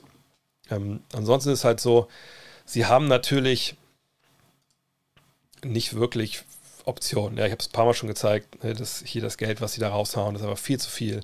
Also das Free Agent kommt da keiner, der wirklich, äh, ne, wirklich irgendwie komplett helfen kann. Ich nehme mal die Cookies hier an. So. So, dann sehen wir hier die vier Topverdiener. Wir sehen hier Wiseman, wir sehen Ubre. Hält man Ubre, hält man nicht, das ist sowieso die erste Entscheidung, die man treffen muss. Ähm, ist er das Geld wert, was er kostet? Er kostet nicht nur das Geld, was du ihm zahlst, sondern auch die Luxussteuer, die oben drauf kommt. Also ich denke, das einzige Szenario, was ich mir vorstellen kann, ist wirklich Wiggins plus Wiseman für einen Star. Aber ich weiß nicht, ob das so super sinnvoll ist. Ich meine, wie man sich schon schön reden kann, ist, dass das andere Team, was den Star abgibt, irgendwie denkt, sie, sie brauchen einen Neuaufbau, äh, der Star will weg, etc. pp. Weil es ist klar, es geht mit dem Star dann nicht weiter. Und dass sie die Idee haben, ey, Wiseman passt bei uns gut rein, mit dem können wir unseren Neuaufbau starten. Und Wiggins haben wir dann, wenn das im nächsten Sommer passiert, ein Jahr ne, dieses Jahr 2020, 21, 22. Und danach ist er quasi ein auslaufender Vertrag. Also da können wir ihn vielleicht sogar weiter abgeben für ein Team, was, was Geld sparen will, keine Ahnung. Oder wir sparen selber das Geld. Oder wir reden über ein Buyout etc. Ne? Also das sind Sachen, so könnte ich es mir ungefähr vorstellen. Jetzt Kelly Oubre Sign und Trade, glaube ich nicht dran, dass das sowas äh, geht. Und hier unten sind wir eh bei Leuten, die nirgendwo Begehrlichkeiten wecken. Also war es nicht so, dass man sagen könnte, da kriegt man jetzt irgendeinen Borderline All-Star, den man ja bräuchte, um im Endeffekt ähm, dann wirklich einen nächsten Schritt zu machen. Ähm, und mit Curry, Thompson, Wiggins, Green, da hätte man schon eine starke Top 4. Und dann kann man auch überlegen, ey, okay, was ist denn mit Wiseman? Macht er vielleicht einen relativ großen Sprung mit einer Summer League, mit einem richtigen Trainingslager, äh, und reicht es dann vielleicht, dass man trotzdem in den Playoffs dabei ist? Das, denke ich, kann man schon argumentieren. Nur, es ging, glaube ich, bei der Frage letzte Woche um einen Favoritenstatus und da sehe ich sie einfach nicht mit, mit dem, was sie da jetzt haben. Da sehe ich auch keine. Ähm, danke fürs Folgen, Hornson, habe ich schon gesagt, ich weiß gar nicht. Ähm, und danke CK fürs, fürs, fürs Abo. Ähm, und ich kann mir einfach nicht vorstellen, dass, ähm, dass Wiseman diesen, diesen riesigen Sprung macht, den er bräuchte, damit diese Truppe halt äh, da wirklich auf ein neues ähm, neues Level kommt. Nimmst du eigentlich auch mal Abstand vom Basketball oder bist du 24-7, 365 dran? Ich nehme zu wenig Abstand, das glaube ich, muss man schon sagen. Ähm, Gerade jetzt, so, so zuletzt in den letzten Wochen und Monaten, muss man, ist es halt so, dass ich ehrlicherweise auch weiß, ich mache da zu viel. Also ne, gerade jetzt letzten beiden Wochenenden war ich ja wieder beide Wochenenden in, in München, habe da halt äh, kommentiert und dann, wenn ich dann da bin im Hotel sitze, was soll ich sonst machen? Mich am Bahnhof setzen? Ne? Ähm, dann arbeite ich natürlich auch, ob es jetzt Five ist oder Podcasts ne, vorbereiten. ähm, Konzepte schreiben und so. Und da merke ich schon, dass Sachen einfach zu kurz kommen gerade. Und ich überlege wirklich, ob ich irgendwie nochmal vor der vor den Playoffs, dann wird es natürlich nochmal richtig hart, äh, ob man da vielleicht nochmal eine Woche Abstand nimmt irgendwo. Ähm, wir haben sogar einen Camper gemietet, äh, meine Frau und ich. Mal gucken, ob wir irgendwo hinfahren können damit, dass wir dann die Woche vom Play-In-Tournament. Ähm, aber momentan ist es halt auch so ein bisschen alternativlos, denn ich, ich weiß, dass es ein Job ist, der, der auch sch schnell vorbei sein kann. Ne? Wie gesagt, wenn mal, äh, keine Ahnung, du was weiß ich, wenn irgendwer dann nicht mehr an Print glaubt, dann geht Five vielleicht äh, den Bach runter oder, oder äh, was weiß ich, äh, aus irgendwelchen Gründen wird, wird, man nicht mehr gebucht für, für, für Spiele oder Leute hören den Podcast nicht mehr, dann ist es halt als Freiberufler echt schwer. Deswegen muss man einfach das, das Eisen schmieden, solange es heiß ist. Ähm, das versuche ich. Aber ja, also es stimmt schon, dass ich auch Gedanken darüber gemacht habe, zuletzt, wann ich da ein bisschen mehr Abstand äh, gewinnen kann. Mm, mal unabhängig von Free Agents und Trades, welchem diesjährigen Nicht-Playoff-Team traust du nächstes Jahr den großen Entwicklungsschritt basierend auf dem aktuellen Kader zu? Ähm, ich glaube, ein Team haben wir heute schon genannt. Gucken wir mal auf die Tabelle. Das ist nicht die Tabelle. Das ist die Tabelle. Ähm, und zwar, ich muss mal ein bisschen runter scrollen. Obwohl, ich glaube, lass mal auf eine andere Tabelle gucken, weil die finde ich irgendwie auch nicht so geil, wenn ich ehrlich bin. Lass mal auf die Tabelle bei ESPN schauen. Weil die finde ich eigentlich ganz so cool, ähm, wenn es denn aufläuft. Ja. Ähm, weil die noch so ein paar andere, wenn man das, das auf Expanded Stats drückt hier, dann sieht man noch ein paar. Alter, ich muss echt mal eine andere Idee machen mit der Kamera hier. So. Und dann haben wir jetzt hier die Tabelle. So, jetzt sieht man auch ein bisschen was. Dann sieht man hier Punkte, drei Punkte Spiele, zehn Punkte Spiele, Spiele gegen ne, Teams, die die Hälfte ihrer Spiele gewonnen haben oder nicht. Overtime-Siege. Das ist manchmal, finde ich, ein bisschen interessanter, die, die, die Tabelle. So, ähm, jetzt haben wir von Lottery gesprochen, also würde ich einfach nur die Teams nehmen, die wirklich unter dem Strich, also ab, ab Platz 11 momentan arrangieren. Wenn ich da jetzt ein Power Ranking machen sollte von Teams, die ich denke, die nächstes Jahr den, den größten Sprung machen, dann würde ich an Nummer 1 ehrlicherweise die Timberwolves setzen. Aus den Gründen, die ich vorhin schon genannt habe. Ähm, ich, ich klammer jetzt hier mal Draft mit aus weitgehend, weil wir einfach nicht wissen, wer wann zieht ja, und Free Agency, weil keiner weiß, wer da irgendwie einen, einen großartigen äh, Coup landen kann, sondern nur jetzt, sagst, Stand heute eine Welt, wo wir spielen aber Basketball weiter. Immer eine Pause, nach Spiel weiter, es kommt kein neuer dazu, kein anderer geht weg. Also, das ist natürlich auch unrealistisch, aber so kann ich die Frage nur beantworten. So, dann würde ich sagen, Timberwolves sind das Team, ähm, die dann ne, mit Gesundheit die haben zwei All-Stars in Russell und Towns. Gut, Russell nur ein einziges Mal. Weiß ich, auf Towns war zweimal. Ähm, aber das ist eine Foundation. Die haben Edwards, der wird einen Sprung nach vorne machen. Und da sehe ich, das sehe ich schon als gute Achse, zumindest offensiv. An zwei würde ich wahrscheinlich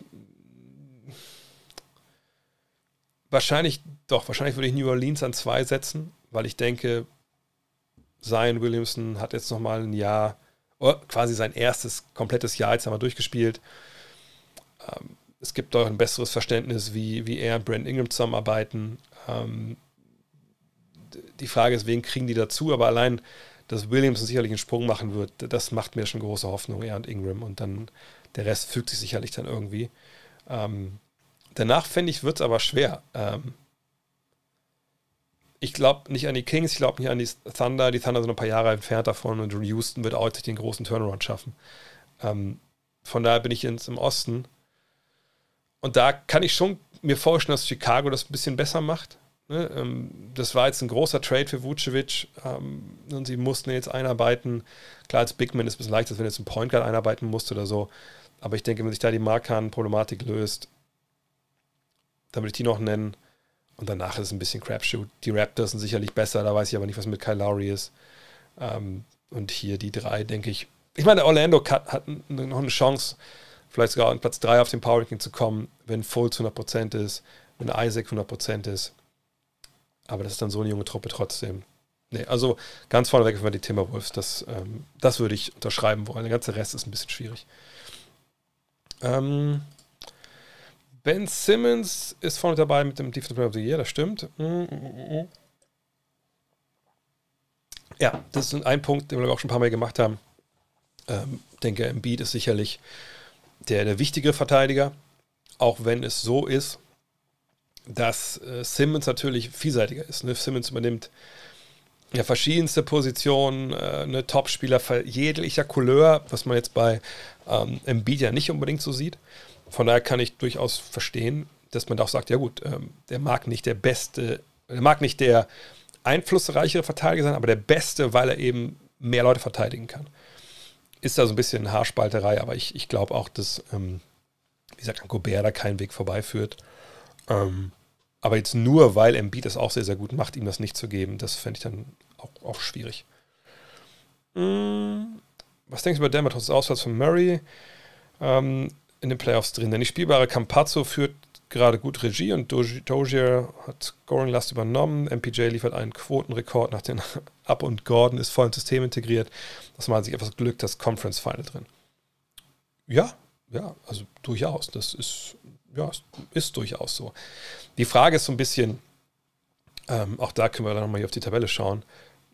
Sicherlich ist noch eine Menge Basketball zu spielen, aber ähm, wenn wir zum Beispiel sehen, 4 gegen 5, jo, das ist kein Matchup, was ich den, den Nuggets wünsche, wenn LeBron halbwegs fit ist, wenn AD dabei ist. Und AD ist jetzt mittlerweile dabei.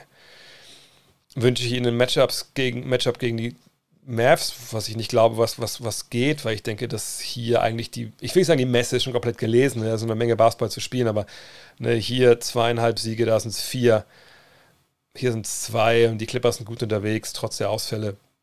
Ich denke, dass es also zumindest eins und naja, obwohl, na, hier oben kann sich einiges tun, aber ich glaube, die drei sind soweit fest, die werden da nicht reingerätschen können, die Nuggets. Und ich denke, dass vier und fünf eigentlich auch schon mehr wieder sicher sind. Und dann kommt es darauf an, was hier unten passiert halt. Ähm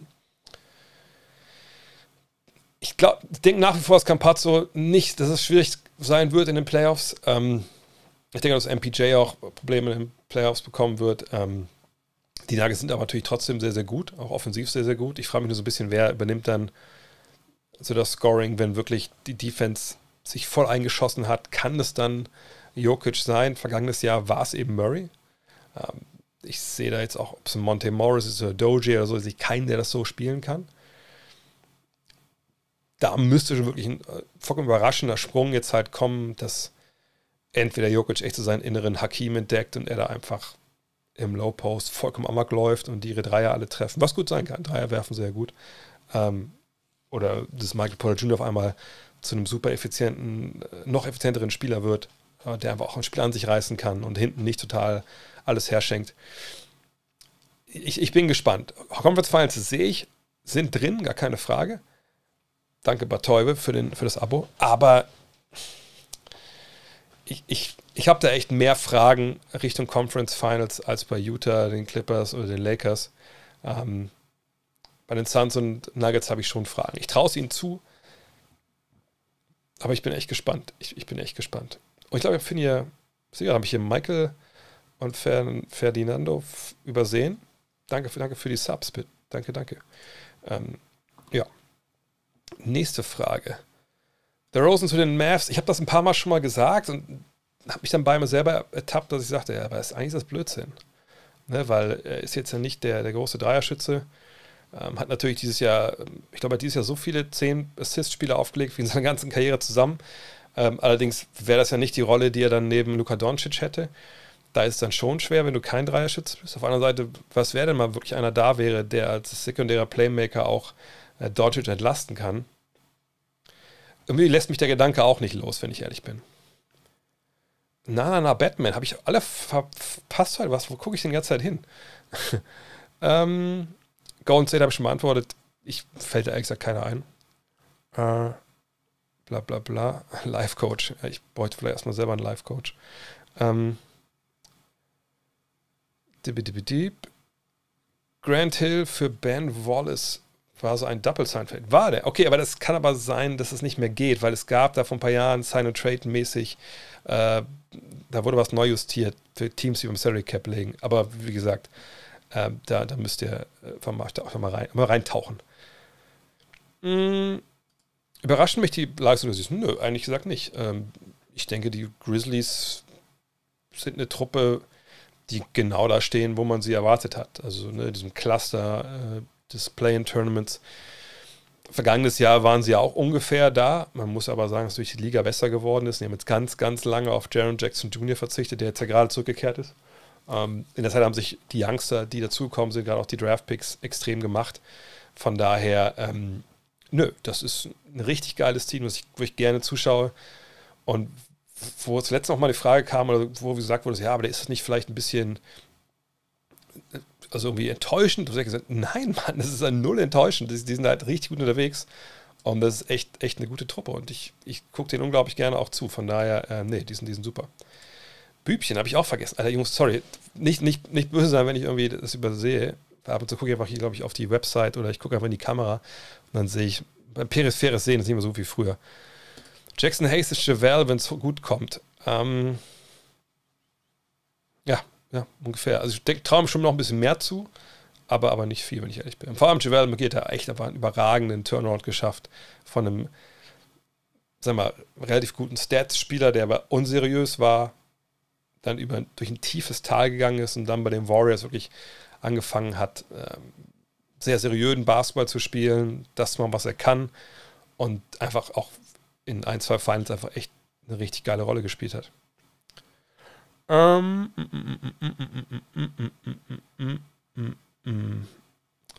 Ich schreibt noch jemand Task.com, ja, das zum Beispiel auch. Es gibt ja, es gibt damit auch einige, ich, ich bin nur nicht mehr so drin in diesem NBA Merchandise Game. Also ich kann euch immer nur empfehlen, das wäre mal ein, äh, das wäre mal eine Folge, wenn ich mal wieder in den USA fliege. Wir haben das auch mal gemacht bei, ähm, bei Getting Buckets. Damals haben wir ja so, so ein Shopping, Ratgeber gedreht, äh, Kuro und ich, in äh, Outlet Mall in San Francisco. Ähm, und ich kann euch nur empfehlen, also wenn ihr mal, drüben seid, wenn das wieder geht, es gibt auch in Deutschland mittlerweile diese Nike Clearance Stores, ich glaube einen in Köln und einen in Magdeburg, wo so Rückläufer hinkommen, Einzelpaare, die zurückgegeben werden und so. Und da kann man einfach echt so geile Deals schießen. Auch eben original. Nächstes Mal ziehe ich mal, wenn ich so denke, ich habe so einen Hoodie von den äh, Spurs, den es äh, für meine Begriffe gar nicht zu kaufen gibt. Ähm, aber halt wirklich so Player-Issued Hoodie, ähm, wo ich Glück hatte, dass der in XL ist oder XXL ist. Was witzig ist halt, wenn ihr diese Clearance-Stores fahrt und die sind in der Nähe von der NBA-Stadt. Und in der Regel ist das ja genau, wo ich mich aufhalte in den USA. Äh, und ich weiß, an dem Tag sind wir halt von Dallas mit einem Podcast-Trip runtergefahren nach San Antonio. Nee, nach Houston, nach Houston. Ich habe dem Busfahrer gesagt, pass auf, Junge, wir sind so weit vor Schedule hier, sollen wir da zwei Stunden um die Halle rumlaufen? Äh, fahren Sie doch bitte einmal hier zu dem Nike Clearance Store. Und dann sind wir da halt rein und in der Regel gibt es dann halt nicht die Klamotten von dem Team in der Stadt. Natürlich, das will man ja bei Nike, dass die vielleicht auch im richtigen Nike-Store halt dann kaufen, im Outlet und so, sondern diesen äh, Clearance-Stores, die auch in der Regel nicht in Outlet sind, sondern so manchmal auch ganz alleine, so wie der. Da haben die dann halt äh, Dallas-Geschichten oder, oder Dirk oder, äh, nicht Dirks richtig, äh, oder San Antonio in dem Fall. Und das war halt so krass. Ich habe diesen, diesen Double XL Sweater geholt mit so einem, mit so einem queren ähm, Reißverschluss, Fettspurs aufgenäht. Ähm, war das 2020? Kann gut sein, ja. Äh, und dann das Geile, hatte ich auch so, so einen Longsleeve, echt mit so ganz langen Ärmeln bis hier. Auch von den Spurs eigentlich so, also wirklich Player-Issued Warm-Up-Sachen. Und die kosten irgendwie 20 Dollar. Ne? Und ähm, das Problem ist nur, dass super oft weil es in Player-Issued Sachen sind, die halt so in 3XLT kommen. Also ich habe zum Beispiel mir auch in Dallas mal dann, da haben die mal die Sachen wirklich im, im American Airlines Center verkauft, also so am Ende der Saison, äh, habe ich mir dann halt wirklich mal so eine, so eine Warm-Up-Hose zum Aufreißen geholt, damals von Adidas. Aber die war irgendwie, ich glaube, die war auch 3XLT und die geht bei mir halt einmal unten so um den Knöchel rum und ich kann die nur anziehen, wenn ich Schlappen anziehe, weil sonst fliege ich jetzt mal auf die Fresse. Ähm, auf jeden Fall, äh, da freue ich mich auch so wieder, wenn das wieder losgeht dass wir da echt, ähm, äh, das ist auch wieder, ich meine, ich bin einfach auch so ein Shopping-Opfer in dem Fall leider. So fehlt mir das gar nicht so, ehrlich gesagt, aber diese, dieses Stöbern in diesen, diesen, ich meine, ich, ich war ja so krank, also ich habe zum ersten Mal, diesen, jetzt rede ich nur über Shopping, aber egal. Äh, ich habe ja zum ersten Mal diesen Clearance Store erlebt, eben in, äh, in Oakland, weil bei den NBA Finals damals zum ersten Mal mit den Warriors war ich ja, ich war bei allen vor Ort, aber nee, beim letzten glaube ich nicht. Ne? Ähm, jedenfalls hatten die halt da war halt ein Kilometer von, von meinem Hotel an der Halle entfernt, war halt so ein Clearance Store. Und ich habe das nur gegoogelt, so, ach, hier ist Nike, gut, da fahre ich mal hin. Habe schon gewundert, das ist eine super schäbige Gegend. Warum ist hier Nike? Und dann war das so ein Clearance Store und ich war da morgens um 10. Ey, und da standen halt 10, 15 Leute vor der Tür. Und ich habe mich schon gewundert, so, hä? Also also viele Asiaten, Afroamerikaner und alle hatten so krasse Schuhe an. Ich so, ey, was machen die denn alle hier so früh? Das ist so ein Outlet-Store. Ähm, also hier gibt es jetzt ja keinen irgendwie krassen Drop. Ne? Und dann war es aber so, ich muss das erzählen, also kennt ihr die normalen Outlet-Stores wahrscheinlich von Nike, da kommt man rein, dann ist ja an den, sind die Regale, wo die Schuhe so draußen dran sind, dann geht man, guckt man in den Regal, dann sind die ganzen Schuhe in allen Größen und so. Aber da ist aber nicht so. Da kommst du an diese Regale und da steht nur, was ich, äh, US 13 bis 15, US ähm, 11 bis 13. Und dann guckst du in die Regale und da sind nur so, so Kartons einsortiert, die offen sind, damit du die Schuhe sehen kannst. Nur Einzelpaare. Manchmal natürlich mehr von, einem Paar, äh, von einer Sorte, aber nur Einzelpaare.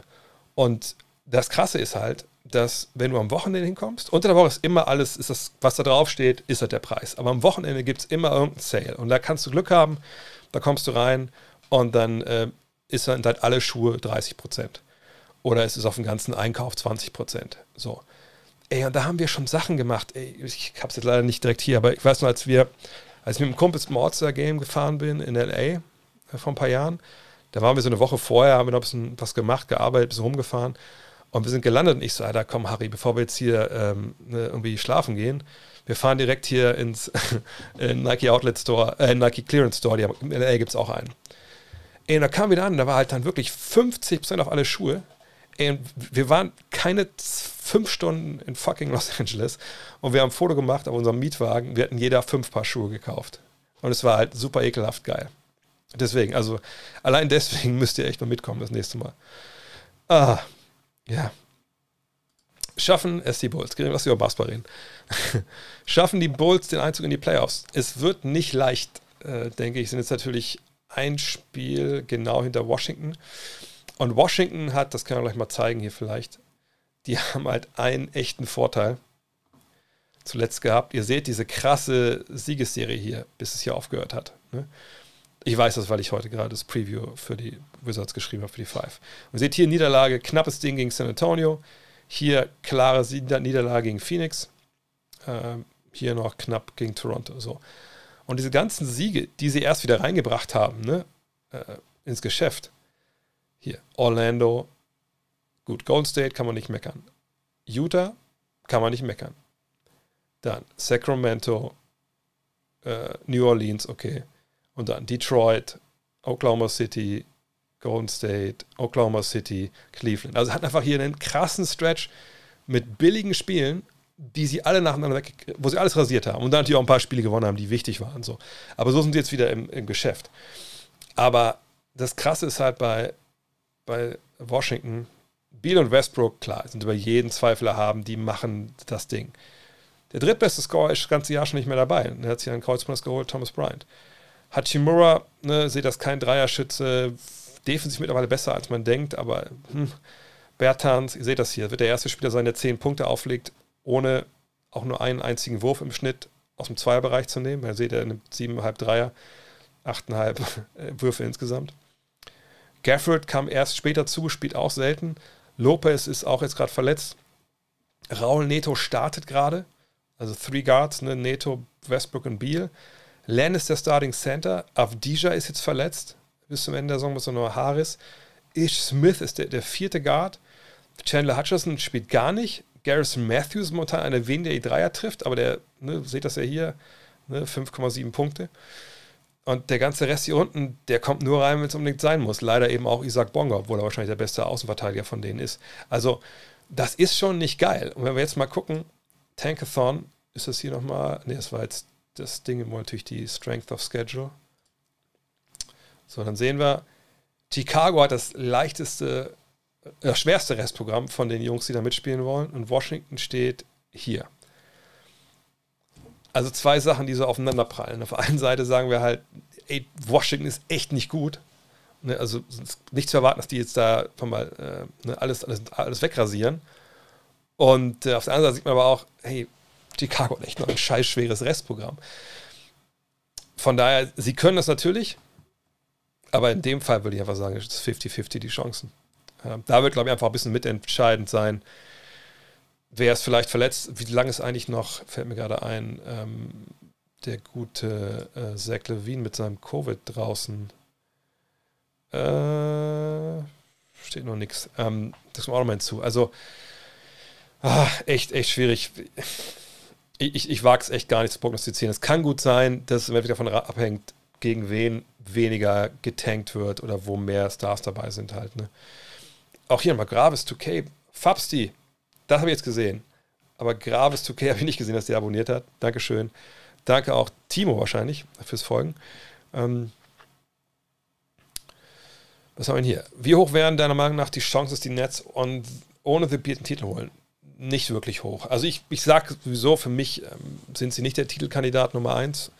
Ich habe es am Sonntag auch gesagt und er, ähm, äh, also, ich, also alles, an was ich glaube im Basketball, das ist halt darauf ankommt, dass du eingespielt bist, dass du zusammen Wiederholungen hattest, dass du Täler durchschritten bist. Ja, dass du, die Amerikaner nennen das Adversity, dass du wirklich, äh, du, du hast gespielt, du, es ist nicht hundertprozentig gut gelaufen, es ist schief gelaufen, du findest dich in einem Loch wieder und anstatt auseinanderzureißen als Mannschaft und zusammenzubrechen und jeder macht seinen eigenen Scheiß, findest du halt die, diese, diese innere Selbstvertrauen und sagst, nein, Freunde, jetzt, jetzt gehen wir aber richtig ran und jetzt wird hier rasiert, so, ne? Und du arbeitest dich wieder zurück. Das hatten, das hatten die nicht, die Nets. Die hatten sicherlich ne, in einzelnen Spielen mal, ne, und, aber nicht in der Zusammenstellung, weil ich glaube, sie haben jetzt ich weiß nicht, ist die Zahl fünf oder, nee, ich glaube sieben, ne? Ich glaube, wir haben sieben Spiele erst gesehen, wo alle drei dabei waren. Also Harden, Irving und Durant. Ähm, Griffin ist immer noch relativ neu. Ähm, Nicholas Claxton ist gerade verletzt. Ähm, und ohne James Harden fehlt eben dann nochmal diese Fulminanz im Angriff, die du, glaube ich, wirklich brauchst, um das Ding nach Hause zu holen. Auch natürlich gegen richtig gute Konkurrenz dieses Jahr. Äh, von daher, ich kann jetzt keine Prozentzahl ransetzen. Ich kann nur sagen, die sind für mich nicht der Favorit. Da sehe ich andere Teams vorne. Ähm, gleichzeitig muss ich aber auch sagen, wenn ein Team all diese eher eine, ähm, Leitsätze, die ich so in meiner Basketballkarriere als Zuschauer, Spieler, Fan, Experte, Journalist, wie ihr das nennen wollt, gesammelt habe. Wenn ein Team alles ad absurdum führt, dann wahrscheinlich das Team, weil wir noch nie ein Team hatten, wo drei solche Scorer zusammen gespielt haben.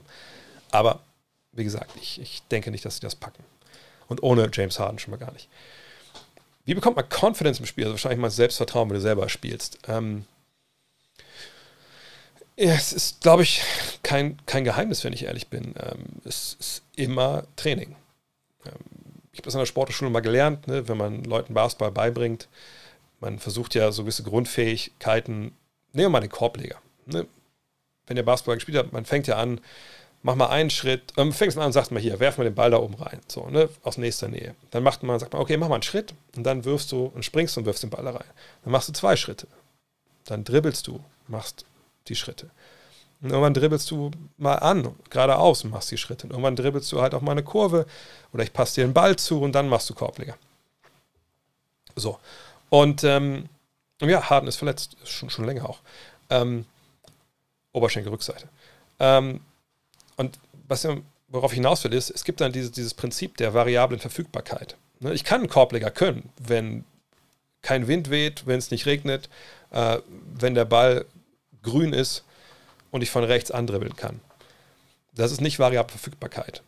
Ähm, ich habe vielleicht Selbstvertrauen, wenn das alles ne, stimmt und, und, dann kann ich das machen. Aber wenn ich einfach mal von links dribbeln muss, da steht ein Verteidiger und ich so denke, Alter, das habe ich aber also so noch nicht wirklich das habe ich noch nicht gemacht. Habe ich kein Selbstvertrauen. So. Ähm, von daher, ne, Training, Wiederholung. Du musst Situationen immer und immer und immer und immer wieder gesehen haben, damit es wirklich, damit es gesundes, gewachsenes Selbstvertrauen gibt. Natürlich gibt es das, was die Amerikaner Irrational Confidence nennen. Ja, also, dass man einfach irrationalerweise denkt, man ist geiler, als man eigentlich ist. Das kann sicherlich auch helfen. Dumm kickt gut, sagt man ja auch. Aber das ist schon sehr speziell. Du musst natürlich dann schon gewisse Skills haben, um dir selber dieses irrationale Selbstvertrauen zu holen. Und sicherlich gibt es auch Leute, ich habe auch mit Leuten zusammen gespielt, die hatten eigentlich nichts drauf und dachten, sie wären super geil. Ich habe die beneidet um dieses Selbstvertrauen. Aber das holt dir natürlich irgendwann immer ein. Von daher Fundamentals, Skills, Training und dann kommt das Selbstvertrauen von alleine. Und wenn es immer noch nicht da ist, wenn man an sich selber noch super viel ähm, zweifelt, dann brauchst du vielleicht einen Trainer oder Mitspieler, die sagen, Junge, nimm den Scheiß, nimm den Scheiß Wurf. Ne? Du kannst das. Und dann geht es manchmal Schlag auf Schlag. Ähm, habe ich euch hier schon gedankt? Weiß nicht. Ich danke einfach noch allen nochmal, die ich vergesse. Also danke an, an Basti, danke an, an CK, danke an David Backhausen für alles, was ihr getan habt. Oh, und hier, hier sind noch die, hey, hat so einer die man, ich muss mal andere Logos hier einspielen, das ist viel zu klein, das kann keiner sehen. Ähm, mm, mm, mm, mm. Vucevic einzubeziehen in so einer knappen Saison ist schwer.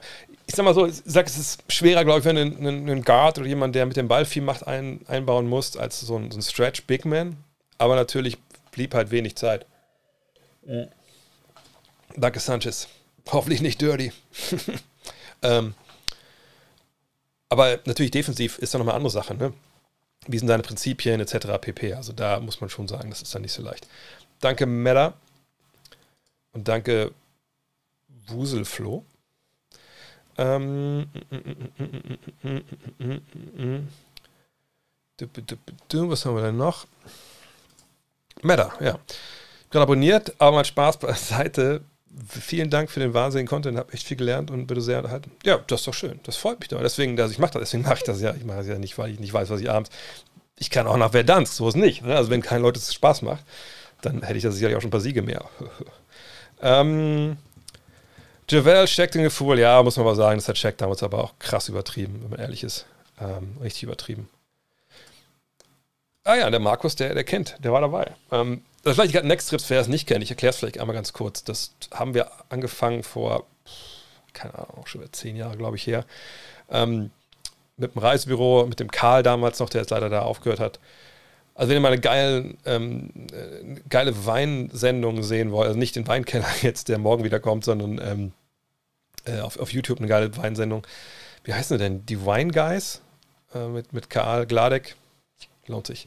Ähm, nee, aber Karl damals, der war der Typ, der das halt so einen gemacht hat. Ähm, der war im Reisebüro beschäftigt, war so eine Reiseagentur. Äh, und das machen wir jetzt aber weiter, wenn Corona vorbei ist. Wir haben dann immer so drei, vier Trips organisiert nach USA ich habe es mal beworben, meinem Podcast, sonst haben wir es irgendwie nirgendwo großartig rausgehauen. Und dann, ja, dann waren wir immer so, ja, je nachdem. Manchmal waren es nur zehn, aber ähm, manchmal waren wir es, ich glaube, einmal war über 50 in Dallas halt. Dallas waren wir jedes Jahr. Und immer geil. Also zusammen hin, ne, ich bin der Reiseleiter, außer so eine echt riesige Gruppe, weil dann ist es zu gefährlich, dass ich irgendwie vergesse in irgendeinem Truckstop. Und dann sind wir halt immer zu den Spielen. Also in Dallas, natürlich in Dallas die Spiele geschaut, immer auch Houston gemacht, immer auch San Antonio, immer auch Oklahoma City, weil es alles so in Fahrreichweite ist. Obwohl es mal schon echt schwer war. Ich weiß, vielleicht guckt einer zu gerade, der damals mit äh, dabei war, als wir diesen Overtime-Thriller gesehen haben in San Antonio ähm, mit, äh, mit Kyrie und, und den Cavs, wo, glaube ich, Kyrie macht er nicht 61 in dem Spiel. Und wir da alle aus der Halle kommen, so nachts um halb eins und dann wissen, oh, es war geil, aber wir fahren jetzt noch fünf Stunden nach Hause. Eieiei. Ähm, oder wie wir, wir haben über Jahre echt geile Spiele gesehen, auch in Oklahoma City damals. Ähm, das Spiel, wo ähm, auch, auch, Overtime Golden State gewinnt und ähm, Fluff, danke. Äh, und Curry 11 Dreier schießt und einen auf zum, aus dem, vom Logo zum Sieg in Overtime. Da will ich nicht vergessen, wie dann die Leute alle in den Bus kamen, alle so vollkommen geflasht waren. Ähm, das, das waren schon geile Trips oder für die Hardcore-Trips, wo wir da hatten wir schon so richtig wilde Dinge, das kann ich nicht mehr machen, da bin ich zu alt für. Also, da muss irgendjemand Jünger übernehmen demnächst. Wo wir irgendwie ne, rübergeflogen sind in eine Stadt, gelandet, Hotel, Koffer weg, Halle, Spiel gucken, schlafen, nächsten Tag weiter, Flieger, nächste Stadt, gucken, pennen, nächsten Tag Bus, nächste Stadt. Irgendwann wusstest du gar nicht mehr, was abgeht. Und wir hatten so auch mal Ostküsten-, Westküsten-Trips sozusagen, also richtig geil. Miami, das war echt immer nice. Wir haben auch stellenweise abends echt mal einen drauf gemacht. Äh, ich kann da gar nicht überreden, da wäre ich ja voll nostalgisch und habe ja voll Bock drauf. Ähm, mm, mm, mm, Was haben wir denn noch? Mit Zoll, ach so, shoppingmäßig, das geht eigentlich. Also klar, ähm, äh, ich, also ich habe auch schon aufgepasst, musste aufpassen, was das Shopping angeht. Das ging aber meistens darum, wenn ich mir drüben im iPad oder sowas geholt habe. Aber dann habe ich es einfach immer ins Handgepäck genommen. Äh, Fluff, die, aber dich aber schnell überzeugt.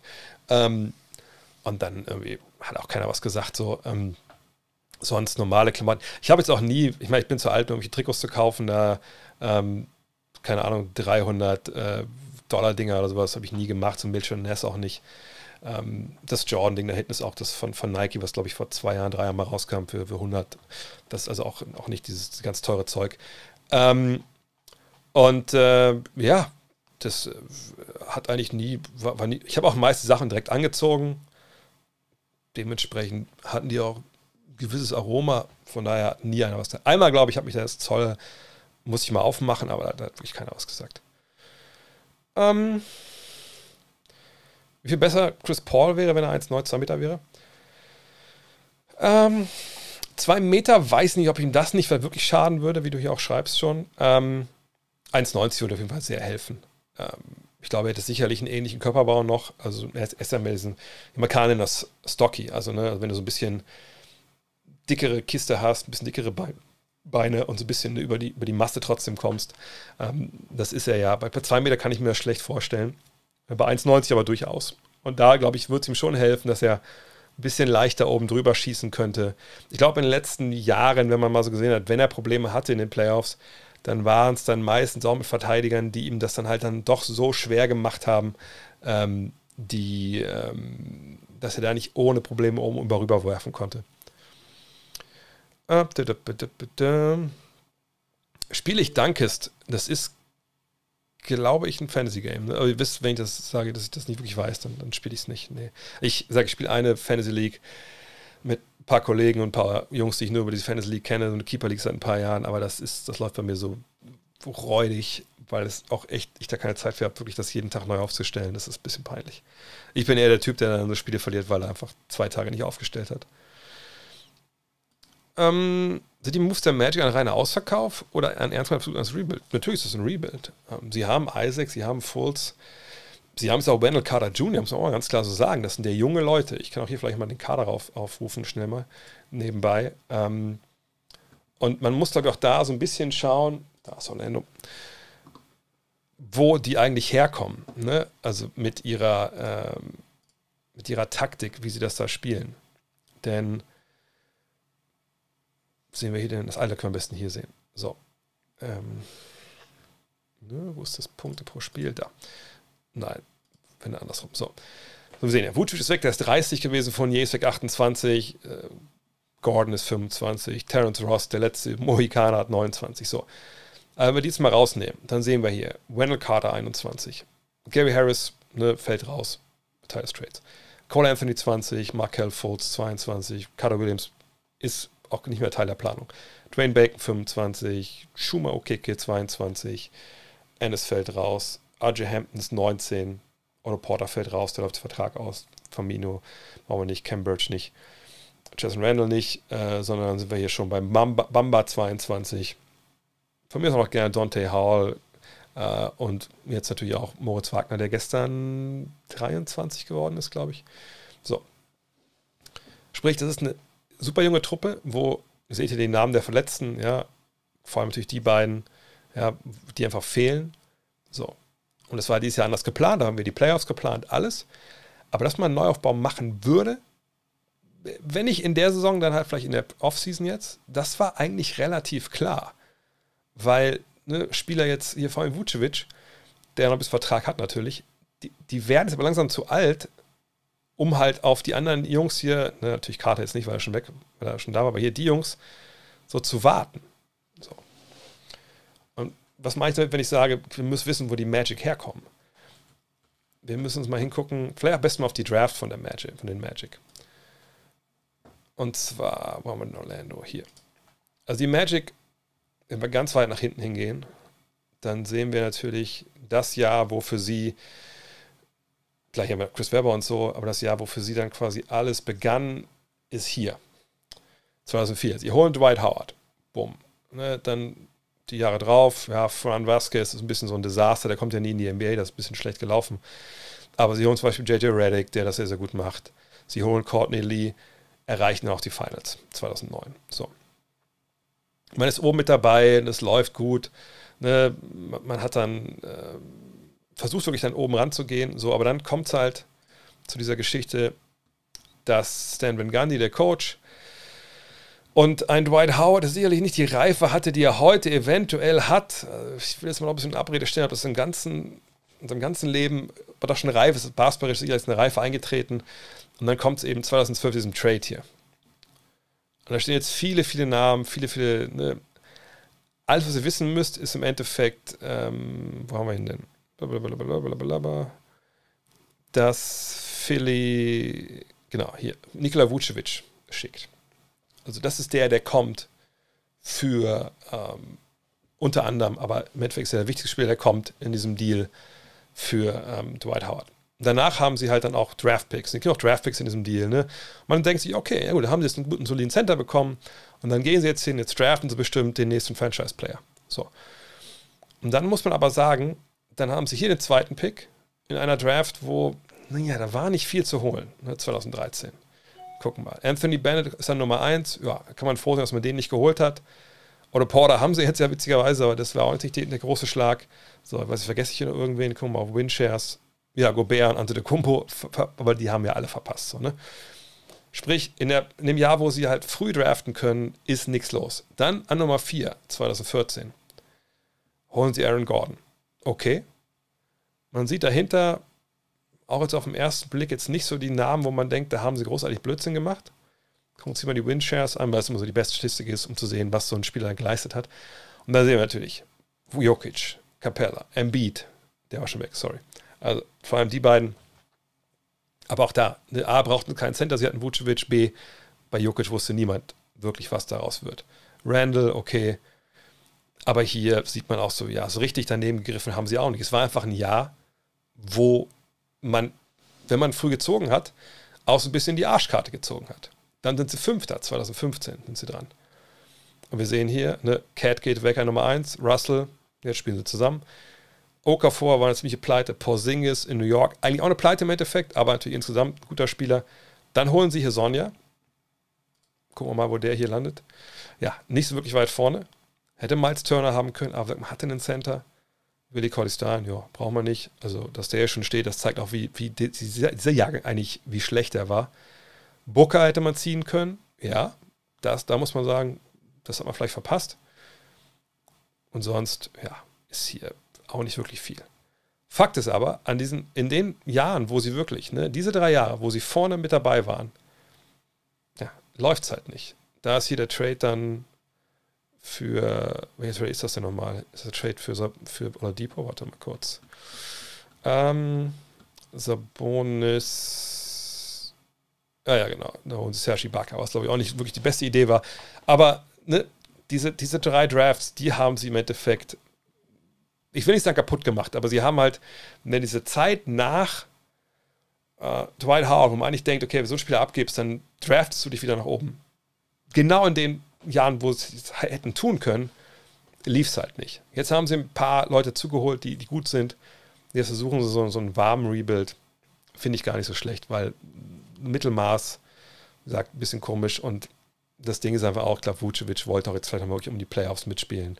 Und der wusste halt auch, dass es äh, da nicht weitergeht. Und Gordon, ich glaube, Gordon ist in Denver viel besser aufgehoben, auch von der Leistung her und so, als, ähm, als er das bei denen ist. So, bla. Ein Exkurs in die BBL. Exkurs. Ich gucke wenig bis gar nicht leider dieses Jahr, aber äh, Hamburg ist mir nicht verborgen geblieben. Ähm, freut mich total für, für jemanden wie Justus Hollatz. Den, den sehe ich gerne spielen, wenn ich da zuschaue. Ähm, von daher, ja, das ähm, ist gut was sie machen. Ist auch ein geiles Projekt. Marvel Willoughby ja nicht irgendwie da mit den großen Geldgebern reingekommen und gesagt, so hier, wir machen einfach auf, auf Stampfen das aus dem Boden und äh, der HSV steht dahinter, sondern hat das halt einfach, ne, es ist ja gewachsen aus äh, breitem Sport, aus, aus ein bisschen ne, aus sozialem Hintergrund. Ich finde es richtig gut. Und es ist eine geile Halle, finde ich. Auch wenn da wie kein WLAN war, letztes Mal Jahr und kein LAN.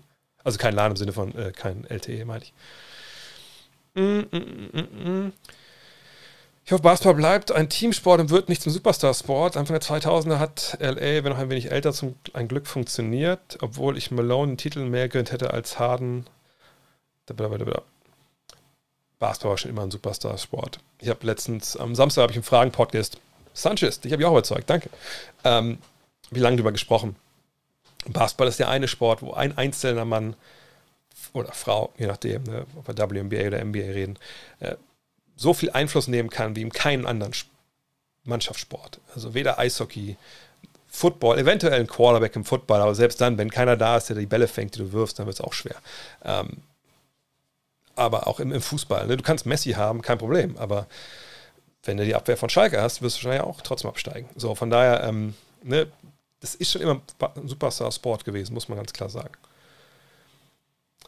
Wie stehe ich dazu, dass der DFB-Präsident Keller seinen Vizekoch mit einem Nazirichter verglichen hat?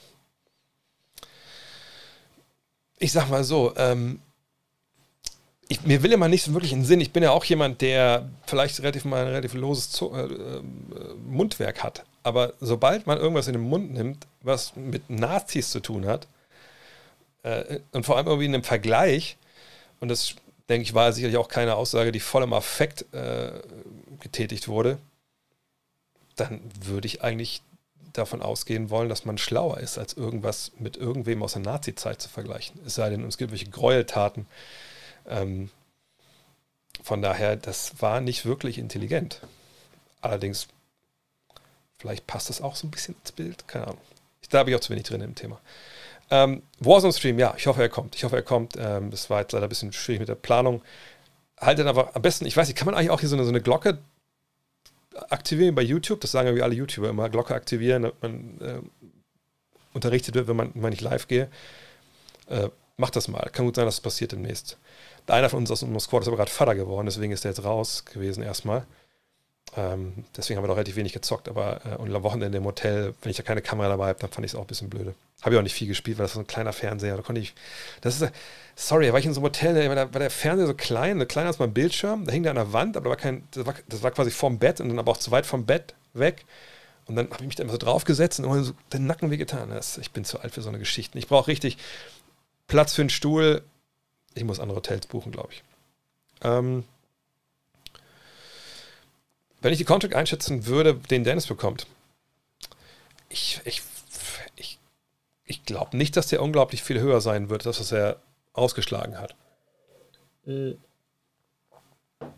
Zuletzt ging es richtig durchs Dach bei ihm. Wir haben ja quasi den Podcast gemacht, Julius und ich am Donnerstag, und danach hat er voll abgeliefert, auch davor schon von der Dreilinie besser getroffen. Aber ähm, die Eins ist eine schwierige Position, da sind nicht viele Planstellen offen. Ähm, und ich meine, die Gefahr ist, dass die, dass die Lakers sagen, naja, Dennis, also wir haben ja 4,84 gesagt. 94. Und er dann denkt, ja, höre ich mir andere Sachen andere, andere an. Und die anderen Teams sagen so, ja, 3, 360. Also kriegt er vielleicht schlechtere Angebote als von den Lakers. Von den Teams, die wie gesagt, ne, dann auch Geld haben, weil er vielleicht auch, ne, auch erstmal warten, bis er erstmal alles anhören will. Und was ist denn dann, wenn die Lakers dann merken, oh, der schreibt denn nirgendwo? Äh, ach so, Dennis, 4,84? Äh, wir sind eigentlich mehr so jetzt auf 3,54 dachten wir jetzt eigentlich so läuft es hinaus. Ne, das kann natürlich passieren. Ich sage nicht, dass das passiert. Ähm, ich denke, er hat einen großen Wert für die Lakers, aber es ist eben auch ein Business und man kann die solche Sachen natürlich auch so ein bisschen verpokern. Von daher, ich bin gespannt. Also ich finde es gut, einen Seite, dass er sich also auf sich selber wettet, aber es, es gibt ihm auch ein Risiko. Ähm, wo lande ich am liebsten in Verdansk? Bisher, also auf der alten Karte, was jetzt ja irrelevant ist, immer äh, am westlichen Ende von, ähm, von Promenade East. Da ist so eine Bank und ein gelbes Haus gewesen. Das gelbe Haus ist jetzt ja weg. Von daher weiß ich nicht, ob wir jetzt immer noch da, ähm, da landen werden, wenn wir jetzt losziehen. Ich finde den neuen Bereich oben hinter der Brücke, wo früher der Damm war, natürlich wahnsinnig interessant. Aber ich muss aber noch, ich habe noch nicht viel gespielt auf der neuen Karte, von daher weiß ich nicht. Loadout, ich glaube, ich bleibe erstmal bei meiner Amax. Ähm, Zweitwaffe muss ich nochmal überlegen. Ich hatte jetzt natürlich, das Meta war ja für Fahr. Ähm, Mac 10 hatte ich auch zeitlang. Jetzt gibt es ja viele Waffen, die echt wirklich ähm, so im SMG, also im Nahbereich, wirklich gut sind. Ich wollte mir vielleicht die, äh, die Farah mal hochziehen. Psychov, wo sie ja dann doch relativ ähm, genervt haben. Ich muss mal gucken. Ähm, vielleicht gehe ich auch ganz oldschool mit meinem alten MP7 noch ein bisschen los. Mal gucken. Ähm, die Trips, ich hoffe, die wird es geben, ähm, sobald wieder ne, das wieder möglich ist. Mittlerweile, ich hatte ja die Follower, hatte ich ja früher auch schon. Ich meine, bei Twitter und so, bei, äh, bei Facebook habe ich ja über 10.000, 18.000, glaube ich sogar auf deinen bei Facebook. Also, ähm, naja, da hat natürlich auch immer früher von gelebt. Ähm, und also der, der Martin, äh, Michael, sorry, Michael, der das jetzt übernommen hat, die Planung und so, der ist, der ist heiß, der, der steht quer bei Fuß, sobald wahrscheinlich irgendwie äh, wir durchgeimpft sind, hoffentlich, und die Amis sagen, ja, lasst ruhig die Europäer wieder rein. Da steht er wahrscheinlich bei mir vor der Tür und sagt, wie sieht's aus? Wollen wir das nicht noch mal durchziehen? Und wenn ich dann auch geimpft bin, dann, dann könnt ihr gar nicht gucken, so schnell bin ich im Flieger. äh, Chaos FCB habe ich, glaube ich, auch nicht Hallo, danke gesagt. Dankeschön. Ähm, hey Sonja, der, der Janis-Killer, genau, genau. Mm, aber fünf Minuten drüber gesprochen. Ähm, das ist, ist, ein bisschen auf tönernen Füßen, glaube ich, äh, die Wizards. Ähm, ist ganz, ganz schwierig, aber wir haben es schon gesehen, die haben den relativ, danke Nikon, äh, einen relativ leichten äh, Spielplan jetzt zum Schluss. Zumindest leichter als die, äh, als, als die Bulls. Aber darüber hinaus, nein, da, da, sehe ich einfach nichts. Sie dürfen nicht vergessen, dass die, ich meine, sie haben jetzt dann zuletzt sogar Top 10 Defensive gespielt im April, aber eben gegen Mannschaften Ne, die einfach auch voll unten drin stehen. Ich sehe einfach bei Washington nicht, wie das funktionieren soll in der Serie, wo man davon ausgehen muss, okay, ähm, ne, da sind jetzt Teams dabei, die einfach dich, dich angucken und sagen, okay, Moment mal, äh, also du spielst hier mit Alex Len und Robin Lopez, die können beide nicht von draußen werfen. Ähm, du spielst hier mit Raul Neto, Westbrook und Beal. Also also ihr könnt euch aussuchen, wen von denen wir attackieren, so aus, aus, aus, aus Switches raus und so. Ne? Also es ist, da fehlt mir einfach die Qualität. Und, und auch wenn ich ihm gesagt habe, natürlich, dass Stars in der NBA so viel ausmachen wie in keinem anderen Sport, das ist auch so, aber ähm, das ist dann bei den Washington einfach ein bisschen, bisschen zu wenig. Achso, die Superstar-Teams war das Film mit der Frage.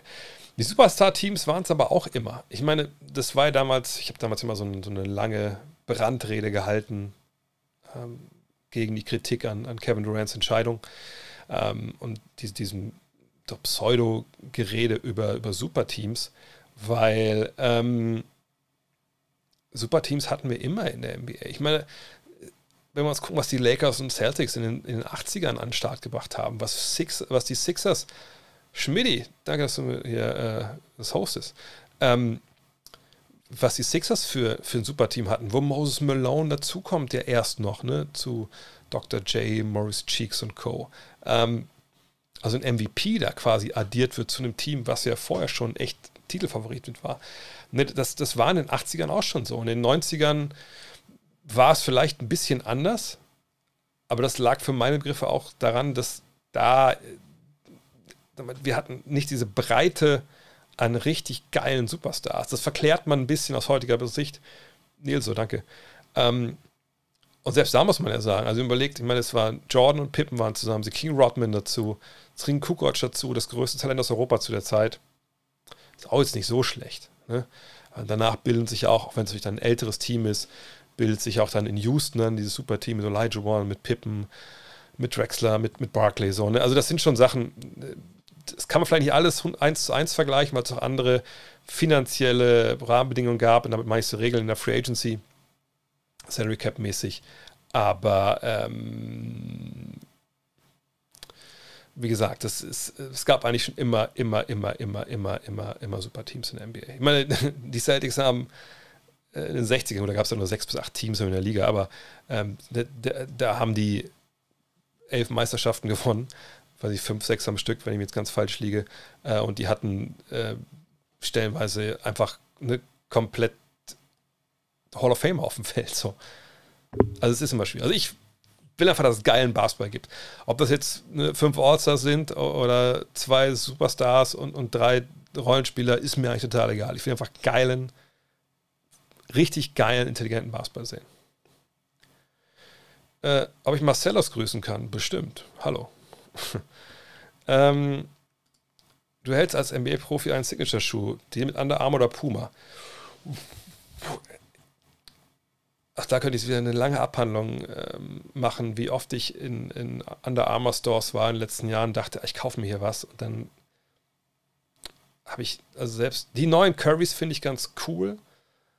Aber ich denke mal, dass es keine guten Schuhe zum Rumlaufen sind und jetzt bis auf die paar Mal, die ich in der Woche auf meinen, meinen Court hier hinterm Haus gehe, äh, ne, brauche ich keine Basketballschuhe in dem Sinne. Äh, es müssen welche Leute sein, die, mit denen man rumläuft, äh, rumlaufen kann. Aber ich habe dann bei echt bei Under Armour nie was Geiles gefunden. Puma, muss ich sagen, da gibt es natürlich ein paar ganz geile Oldschool-Modelle. Ich finde auch vom Look her die neuen, die sie jetzt haben, echt ganz geil, weil sie einfach sehr an das Alte anlehnen. Ich habe mir auch letztens hier im Outlet in Wolfsburg, das war noch vor der Pandemie, ähm, oder es war zwischen, als mal die Läden offen waren, habe ich mir so ein paar Ralph Sampsons geholt in Schwarz, die fand ich eigentlich ganz gut. Ähm, aber wenn dann, würde ich mir sagen, also, ey, schneidet mir so ein paar alte Dinger zusammen, so im Stil von den Ralph Sampsons, im Stil von den, ähm, von den Clydes, ne? Und dann, dann kommen wir da sicherlich zusammen. Ich bin halt auch oldschool. Ist es schwer, ein Visa? Nein, du brauchst kein Visa, wenn du in die USA willst. Als Deutscher gibt es eine Visa-Waiver-Geschichte. Ähm, du musst sie einfach nur online bei Esther heißt das registrieren vorher, dann gucken die, ob du in der Terrorliste stehst. Ähm, wenn du das nicht tust, dann kriegst du auch gesagt, ja, Einreise genehmigt. Das gilt dann für zwei Jahre und dann kannst du ganz normal einreisen. Dann musst du deinen Pass mitnehmen. Also wenn du Deutscher bist, wenn du natürlich andere Nationalitäten bist, dann muss man nachschauen. Ähm, wie geht's? Ja, man merkt es, glaube ich, heute ein bisschen. Das ist äh, ein bisschen schwierig gerade alles. Ähm, wie gesagt, Bereichen den Wizards zwei gute Wochen. Da müssen aber auch gute Wochen dazukommen, weil sonst, glaube ich, äh, machen das die, die, die Bulls. Und der Spielplan, wie gesagt, ähm, ist für sie freundlicher. Von daher, die Chancen stehen gar nicht so schlecht. Wen siehst du in den Finals? Ich, wie gesagt, da müssen wir drüber reden, wenn wir wissen, wie so die Matchups sind in Runde 1. Vorher, glaube ich, macht das relativ wenig Sinn. Sehe ich Potenzial im Ball Portis Defense? Ja, natürlich. Ähm, aber auch, glaube ich, bei, bei, bei vielen ähm, Spielern, ich glaube, vielleicht sieht man sogar bei allen Spielern Potenzial in der Defense, ähm, die jetzt nicht unbedingt absolut die Top-Leute sind. Warum? Ich glaube, viele verwechseln Defense immer so mit, boah, jetzt aber hier quivern und Arme runter, Arsch runter und das ist natürlich ein Punkt. Auf der anderen Seite, wenn man in der NBA mal schaut, wie viele machen das eigentlich? Bis auf Patrick Beverly und ab und zu mal äh, Marcus Smart. Eben wirklich niemand macht das, weil es nicht zielführend ist. Aggressivität ist natürlich gut, ne? Ähm, auch gewisse physische Attribute sind gut, aber das ist die eine Sache, die das Unterschätzteste ist, wahrscheinlich überhaupt im Mannschaftssport. Ähm, wo ich auch sagen muss, dass ich selber früher als Spieler das lange gar nicht so auf dem Schirm hatte, weil ich dachte, naja, das ist ja selbstverständlich. Aber eben zu verstehen, wann ich wo stehen muss, ne, Sachen vorauszuahnen, Sachen zu lesen und dadurch schneller zu werden. Und was meine ich damit? Ne, ich kann ja in der Defense sehen, okay, da hinten auf dem anderen Flügel, ich glaube, der schlägt gleich unseren Mitspieler ich glaube, ich muss gleich mal in die Richtung gehen. Und dann schlägt er ihn aber schon und ich weiß, ich muss dahin, aber ich bin halt zwei Schritte zu spät. Ich habe das zwar alles richtig gemacht, aber eben eine halbe Sekunde zu spät. Versus, ich glaube, er schlägt den gleich. Und ich glaube nicht, wenn wir jetzt von der NBA reden, dass er das erst in drei Sekunden tut. Ich glaube, wenn ich jetzt schon einen Schritt in die Richtung gehe, dann passe ich ihn genau ab und es gibt keine Illegal Defense, weil ich zu lange hier in der Zone rumlunger oder ist nicht so, dass er jetzt guckt, guckt, guckt und wenn ich wieder raus muss, er zum Korb zieht. Und dieses Verständnis, dieses Erkennen und, und Sehen, so Spielintelligenz, deswegen ist mir es auch immer so wichtig. Das kann so ziemlich jeder verbessern. Und Bobby Portis auf jeden Fall. Weil das sicherlich kein Verteidiger ist, wo man sagen müsste, ja gut, das ist der schon so weit vorne, da kann man nur noch Nuancen äh, verbessern. So, von daher, ja, ich sehe Portis bei ihm. Ähm, bitte, bitte, bitte. Und noch eine X-Faktor-Frage. Ja, ähm, Simmons ist kein X-Faktor. Simmons ist einer der zwei besten Spieler. Jetzt kann man argumentieren, dass Tobias Harris und äh, ähm, Joel Embiid sind oder Tobias Harris und äh, ne, Tobias Harris nicht. Oder ob Ben Simmons und Joel Embiid. Ich würde immer noch Simmons dann den Vorwurf, äh, den Vortritt geben, weil er einfach vielfältiger ist. So. Ähm, aber das, sagen wir, ist einer der drei besten Spieler. Punkt. Ist einer der zwei besten Verteidiger, ist einer, der um Defensive Player of the Year mitverteidigt. Und er ist der Mann, der den Ball in der Hand hat und in der Regel auch viel verteilt. So. Das ist kein X-Faktor. Ein X-Faktor ist Shake Milton. Shake Milton, der kann, wenn er auch mal, mal heiß läuft, Räume öffnet, die vielleicht vorher nicht geöffnet wurden, das kann halt nochmal was ändern. Simmons hat seine Rolle, die er spielen muss. Simmons ist natürlich ein besonderer Art Spieler, wo man auch wissen muss, ich kann den jetzt als Doc Rivers nicht überall einfach hinsetzen, guten Wissen und sagen, ja, bleibt mal da stehen und dann passt das schon, sondern dann stellt er dir das Spacing zu, ne, andere Leute haben weniger Räume. Das muss man auch ganz klar sagen, natürlich. Ähm, aber X-Faktor ist er nicht. Er ist einer der ganz klaren Leistungsträger. Er muss seine Leistung bringen, damit die gewinnen. Und ich glaube nicht, dass er so mega durchdreht. Äh, ich habe es schon mal gesagt. Also X-Faktor ist ja eigentlich immer einer, der die Erwartungen an ihn überperformt. Und das, glaube ich, werden wir nicht sehen, weil die Erwartungen an ihn hoch sind. Ähm, ich glaube nicht, dass er das, dass er das total in Grund und Boden spielt. Wer das schafft, Playoffs auf jeden Fall, aber wie gesagt, Matchups und so, da, da reden wir drüber. Wenn es soweit ist. Äh, Holiday, super gut, super guter Typ. Ähm, man vergisst immer, wie robust er als Guard ist, ne, wie groß der auch ist. Ähm, man sieht ihn oft an dem anderen kleineren Guards und denkt so, Alter, krass, Drew Holiday, ja klar. Ne? Ähm, die Bucks müssen sich keine Gedanken mehr machen um gegnerische Guards, dass sie so mega Amok laufen gegen die, wie es vielleicht in der Vergangenheit mal der Fall war. Ich finde ihn super. Er weiß genau, wann er sich zurücknehmen muss. Das ist ein richtig guter Typ. Misches, ja.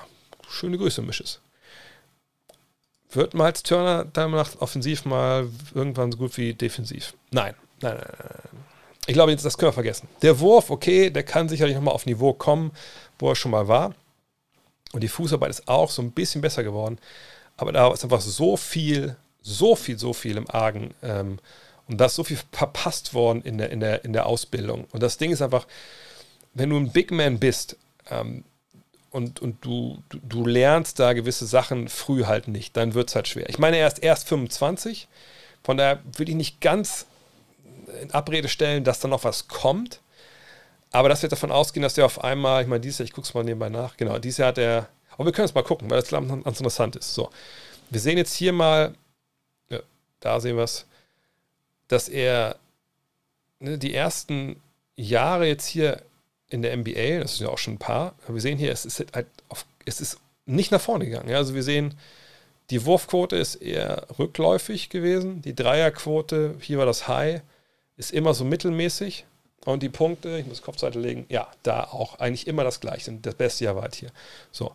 Jetzt kann man sagen, aber gut, das, das sind auch nicht auf 36 Minuten gerechnet. Was sieht denn damit aus? Ja, da sind wir hier.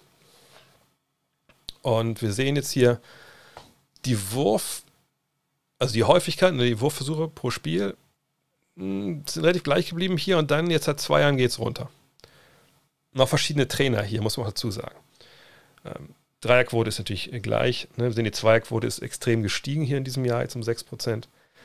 Das können wir alles vernachlässigen, die Punkte wir sehen auch hier, es hat sich eigentlich, äh, zumindest positiv, nichts getan. Offensivrating ist eigentlich auch immer alles ein bisschen die gleiche Suppe. So. True Shooting, warum was denn? Also True Shooting ist halt so, oder eigentlich müssen wir effektive Feldwurfquote gucken. Hier. Da sehen wir es dieses Jahr auch besser, aber das liegt vor allem daran, im Zweierbereich es halt so viel besser jetzt läuft.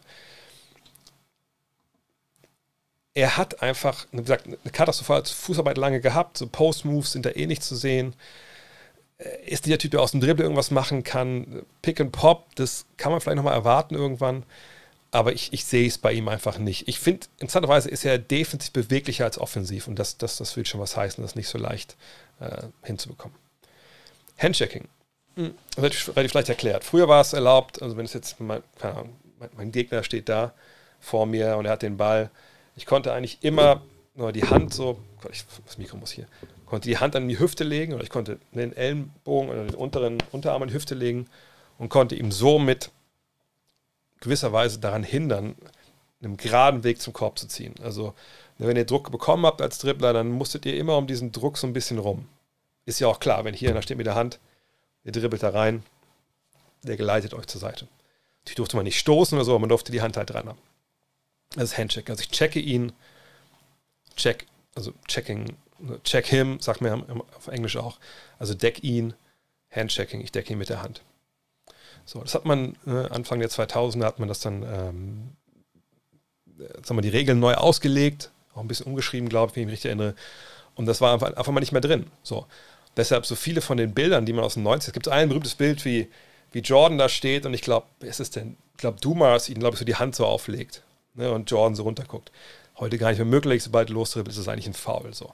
Und das hat der Offensive halt einen riesen Vorteil gegeben, ähm, sodass man da halt aus dem Drive natürlich viel besser scoren kann. Und eben auch dann mit dem Drive mehr Hilfe kommen muss, etc. Ich finde Harden sehr gut zum Spielen und mit denen kann, kann man auch auf jeden Fall ein bisschen kaufen. Ich finde Hardens, ach so, die Schuhe. Habe ich noch nie angehabt, ehrlich gesagt. Da kann ich gar, nicht, gar nichts zu sagen. Ähm, ich fand die sahen immer so mega, mega krass aus. Da war mir zu, zu bunt. Wie sind eure Next Trips immer abgelaufen? Habt ihr eine Tour für ein, zwei Spiele angeboten und dann auf schnellsten Wege hin und zurück? Nö, nö, nö, nö. Also, es waren, also in, in der des letzten Jahre waren es immer so, das war lange, das war echt immer lange, wo ich mir auch dachte, so, Alter, ich bin jetzt schon zehnte Jahre in Folge in Dallas. Was mache ich eigentlich zehn Tage in Dallas? So. Ne, weil, also gut, für mich ist es so, ich bin ja da meistens normal am Arbeiten, plus die Termine, die ich dann so mache. Ähm, aber man will natürlich nicht auch jetzt, wenn man in Dallas ist, einmal im Jahr zehn Tage im Hotel abhängen die ganze Zeit. So. Ähm, sprich, man hat da schon sich auch so ein paar andere Sachen angeguckt, nochmal meistens Mietwagen ein paar Tage genommen.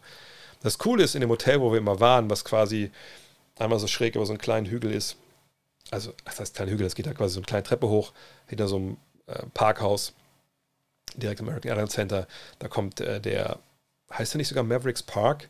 Das ist quasi ein Spielplatz mit einem Freiplatz und einem Baseballfeld. Und dann über die Straße ist schon das Hotel gewesen. So. Und das war halt ganz geil, weil ne, da haben die Jungs ab und zu mal auch gezockt. Ähm, man konnte halt äh, chillig da auch draußen ein bisschen abhängen. Ähm, das war echt, echt immer geil. Und dann gab es natürlich auch ab und zu die Trips, wenn dann klar war, okay, heute spielen die Mavs nicht, aber heute spielen die Thunder. Alle in den Bus, muss ich mittags um zwei alle im Bus. Wir fahren die drei Stunden oder zweieinhalb sind es, glaube ich, im Endeffekt äh, nach Oklahoma City aber jetzt haben wir noch drei Stunden, bis das Spiel anfängt. Komm, wir gehen mal Bricktown. Das ist halt so ein Restaurant, Kneipenviertel da direkt vor der Halle. Gucken, was da ein bisschen abgeht. Ähm, oder wir fahren, wie gesagt, nach, nach Houston. Ach komm, wir gehen nochmal da hier in den Nike Clearance Store, gucken uns das Spiel an und fahren wieder zurück. Und am nächsten Tag pennst du halt aus.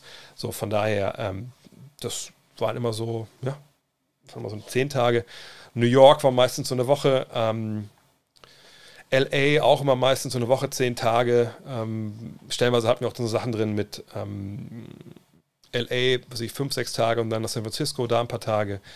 Äh, wir hatten auch schon drin New York zu Beginn und dann runter ähm, nach, nach Miami. Oder diese Hardcore-Trips waren halt dann wirklich stellenweise quer durchs Land. Einmal hatten wir auch Hardcore-Trip East Coast eine Woche.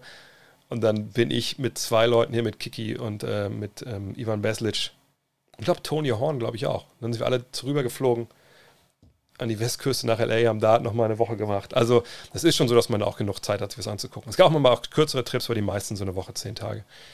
Was sie gekostet haben, unterschiedlich, je nachdem, ne, wo es halt hinging, wie teuer die Karten auch sind. Ähm, in der Regel kann man sich dann auch Tickets ähm, selber auch, man kann auch sagen, auf, ich möchte bessere Tickets haben, wird es natürlich entsprechend teurer. Ähm, das, ähm, ist dann schon, das war eigentlich mal alles möglich. Und dann so, würde ich sagen, ja, so 2000, je nachdem, auch wenn man Einzelzimmer möchte, wird es teurer und so. Das kommt immer darauf an, wie gesagt. Ne? Ich kann auch gar nicht einschätzen, wie es jetzt dann ist nach der Pandemie, ob es dann teurer wird oder billiger. Schönste, angenehmste Stadt in den Staaten. Schön, schön. Also LA ist auf jeden Fall nicht schön, das muss man ganz klar sagen. Ähm, schönste Stadt in den Staaten. Ich, es ist schon zu lange her, dass ich in Seattle war, aber das war, glaube ich, ziemlich geil. Äh, ansonsten schön. Boston ist, finde ich, schön. Uh, Miami finde ich schön, weil es einfach so chillig ist und, und, das Wetter ist halt geil. New York finde ich schön, weil einfach, wenn man da keine Termine hat und der ganze Stress an einem vorbeiläuft, das hat auch echt, echt, hat auch was für sich. Ähm, angenehm. Angenehm wirklich schon Miami, weil das ist irgendwie, ist Urlaub, aber gleichzeitig bis in den USA, das passt schon. Ob ich schon genug von Jashawn Tate gesehen habe? Ähm, nee, ich habe einiges gelesen auch schon darüber und ein paar Zahlen gesehen. Ich bin auch intrigued, wie Amerikaner sagen, aber ich muss aber noch mehr von, von der Arbeit von Herrn Tate sehen. Und genau, es sind dann halt Flug, Hotel, Tickets sind dabei, Transfers überall hin. Man muss eigentlich, Frühstück war auch immer dabei. Ja, Frühstück war dabei in der Regel, je nachdem welches Hotel man halt dann ist. Ähm, und äh, ja, dann geht's ab. Wie viel Geld? Ja, kam ein bisschen darauf an, ob es dann, stellenweise habe ich mir dann gesagt, meine iPads drüben geholt, auch ein iPhone, damals allererst habe ich auch drüben gezogen. Ähm, aber ansonsten geht es Ich bin jetzt ja auch nicht mehr, wie gesagt, äh, sag mal, außerdem, wenn ich dann drei, vier Mal im Jahr drüben war damit, dann hat man auch jetzt nicht in jedem Trip einen Tausi da gelassen, irgendwie für, für irgendwelche, für Merchandise oder so. Brauchen die Bugs noch einen besseren Shooter? Hm, nee, ich glaube, da haben sie eigentlich genug. Ähm, was sie brauchen, ist so ein bisschen mehr Offensive, die mit mehr als einem Pass arbeitet. Das, das würde ich sagen. San Francisco ist eine schöne Stadt. Allerdings muss ich sagen, jetzt, ich war ja dann ähm, durch die Warriors Finals sehr, sehr oft da. Ähm, ist halt eine brutal teure Stadt geworden. Ich war auch vor Ewigkeit 2000 mal da, 2001. Da fand ich es viel sympathischer, weil es dann noch ein bisschen abgefuckter und alternativer war. Mittlerweile ist es dann natürlich viel von, vom Silicon Valley da hoch und ist super teuer. Die ganzen, ich sag mal, wenn die ganzen Hippies da jetzt immer am Start, die sind natürlich nicht mehr am Start, weil die können sich nicht mehr leisten, da zu leben. Also das ist schon ein bisschen anders geworden. Aber ist super relaxed, geil. Ich kann auf jeden Fall, ich bin normalerweise nie so ein Touri-Typ, aber Alcatraz gesehen, total geil, war voll geflasht. Es macht schon echt, macht schon Spaß. Welche NBA-Halle? Ja, Madison Square Garden finde ich super, seitdem sie renoviert haben. Wenn da ein bisschen was abgeht, dann rockt das sofort. Ähm, ähm, wie soll ich sagen, ähm, Dallas war natürlich bei den Finals unglaublich geil. So eine coole Architektur, auch die Halle. Ich bin aufs neue Chase Center gespannt, wann ich da mal hinkomme, wie das aussieht. Ähm, Staples Center ist immer wieder geil, ähm, weil es irgendwie auch so ein, da dieses LA Live, dieser Downtown-Bereich, der früher total tot war. Früher war wirklich nur ein Parkplatz. Mittlerweile ist es ja, ähm, äh, mittlerweile ist es ja echt alles so Entertainment-Bereich und, und, Hotels und alles echt viel, viel geiler. Ähm, Boston ist, ist, nicht so viel los zum Rum, mal gegenüber dieses Kneipenviertel, das war ganz schön. Ähm, Chicago ist zu weit draußen, das ist nicht so geil. Aber ich würde schon sagen, also Staples und ähm, Madison Square Garden. Miami ist okay, aber Miami ist halt auch Downtown, wo eigentlich nicht viel los ist, wenn man ehrlich ist. Äh, von daher, ja. Kuhglocken, ich war noch nie bei den Kings. Es gibt nicht viele Hallen, wo ich noch nicht war, aber die Kings sind eine Halle, von daher am Fernsehschirm ist mir eigentlich ziemlich egal, was da klingelt, aber klar, Fans fehlen einem natürlich. Warriors, Finn schon erwähnt, ähm, Playoffs sicherlich, wenn Thomas wieder richtig dabei ist, ansonsten wird es wahrscheinlich ähnlich wie dieses Jahr. So, letzte Frage, oder? Erzähl bitte, wie du an deine Tickets im Hintergrund gekommen bist. Trikots. Ach, Trikots. Ähm, eine geile Background-Story. Nö, eigentlich gibt es keine geile Background-Story. Äh, hier, äh, Larry habe ich mir, äh, muss ich überlegen, doch, auf Ebay gekauft. Ganz profan. Chris Mullen habe ich mir auf Ebay gekauft. MJ ähm, habe ich mir aber bei Nike bestellt. Und äh, das Nowitzki-Ding, es gab so eine Aktion, als Dirk dann in Rente gegangen ist von einem Streaming-Anbieter, wo ich arbeite, und da hatten die uns allen so Jerseys geschickt, wo dieses All for One vorne drauf war, also wo D und S und A halt abgeklebt war oder, abge oder blau war und dann All for One. Ähm, da habe ich das halt aufgehängt. Das, das, also da ist wirklich, da sind keine Stories hinter. Ich habe hier,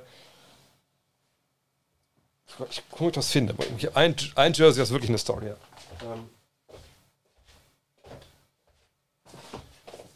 ja. geht's ja kaputt alles. Also das ist das Jersey, was eine Story hat. Aber man kann das, man kann das glaube ich sehen. Das ist halt Mullen, man kann es nicht wirklich sehen, aber so. Äh, unterschrieben von Chris Mullen. Aber A ist dieser beknackte äh, Rahmen, den ich dafür gekauft habe, über die Jahre komplett verzogen. Also ich kriege den noch nicht mal an die Wand. Ähm, und diese blöde, also er ist erst verzogen, dann habe ich hinten ein neues, ein neues Ding hinten reingehauen. Ähm, und das hat dann nicht verzogen, aber ist nicht magnetisch, deswegen hält das Trikot darauf nicht. Und die Story zu, der, zu dem Ding ist halt, dass ähm, es eigentlich nicht erlaubt ist, dass man sich Autogramme holt. Ich glaube, es ist mittlerweile auch verjährt, von daher kann ich es jetzt erzählen. Ähm, und ich in, ähm, in Oakland war mit einem, Kollegen, wir sind hin. Ich dachte, ey, wenn ich jetzt ein Interview mache mit dem, dann hört er halt auf. So aus Jahr bevor er in Rente gegangen ist. Chris Mullen ist ja mein großes Idol gewesen. Und ähm, dann sagten die Mama, ja klar, natürlich, Interview können wir machen, nach dem Training. Äh, Chris Mullen hat Zeit. Komm einfach in die Kabine, in der Trainingsanlage und dann macht ihr das. Wo ich dachte, what? So, weil das normal geht das halt gar nicht. Du kannst normalerweise nicht in die Kabine gehen in der Trainingsanlage. Das ist so eine Off-Limits. Aber waren es auch in den letzten beiden Saisonwochen, mal glaube ich, vor den Playoffs, wo die nicht dabei waren. Und dann ging das halt klar. So, dann habe ich da halt rein. Und ich habe mir dieses Trikot halt äh, gekauft, also ich habe es mir schicken lassen dann so vom äh, offiziellen NBA Store. Das ist auch, das ist auch ein Authentic Ding. Ich dachte mir, wenn schon, denn schon so. Ne? Naja, und dann habe ich irgendwie so zwischen Tür und Angel, weil eben auch keiner von den PR-Dudes dabei war. Sonst ist immer einer daneben, so, selbst bei meinen Interviews mit Dirk war immer die, damals die Sarah, die halt ähm, äh, PR damals noch gemacht hat für die Mavs, die saß immer da und ich so, Sarah, du kannst doch gar kein Deutsch. Also ich meine, du sitzt da ja halt ne, anderthalb Stunden und also das ist so, also, du, ich bin auch jetzt schon seit, seit zehn Jahren hier. Dirk kennt mich doch, also wir werden jetzt auch keine Handgreiflichkeiten, aber die saß immer da, also tapfer. Kein Wort verstanden, wirklich tapfer. Naja, und da war aber keiner dabei. Dann manchmal so, ja, hier, Mensch, danke, bla bla bla. Wir haben so eine Verlosung im Heft. Äh, ähm, so, ich habe ja ein Trikot dabei, könntest du unterschreiben? Also ja, natürlich, das hättest du gleich fragen können. Ich so, what? Hat es unterschrieben. Und es war halt äh, bis dato der schönste Tag in meinem Leben. Und ich so, ja, Mann, ist das geil. Also, sonst mache ich mir echt gar nichts draus. Aber in dem Fall war es was ganz anderes. Und ähm, dann werde ich nie vergessen, dass ich ähm, dann nach Hause geflogen, ähm, mein Kollege dann aus Frankfurt nach Köln, ich nach Wolfsburg. Ich habe auch zur Zeit in Köln gelebt. Nee, den Quatsch, sorry, den Zeitpunkt habe ich ja in London gelebt, genau. Also ich bin nach, äh, wir sind beide nach Frankfurt geflogen, ich dann nach Hause noch ein paar Tage, bevor ich in London bin zum Arbeiten wieder. Und äh, ich weiß, ich ankam, total gejetlaggt, ja auch nicht gepennt, natürlich dann im Flug nicht und dann im, im Zug auch nicht. Und dass ich dann abends echt so um 6 Uhr zusammengebrochen bin, hatte noch meinen Koffer noch bei mir oben im Kinderzimmer, dann mehr oder weniger einfach offen, offen gelassen. Und am nächsten Morgen, mein Vater hat mich natürlich weckt um halb acht, weil mein Vater halt mein Vater ist. Und ich so, Alter, und der hat so eine Klinge bei mir im Kinderzimmer, ne? Also, und ich so, oh.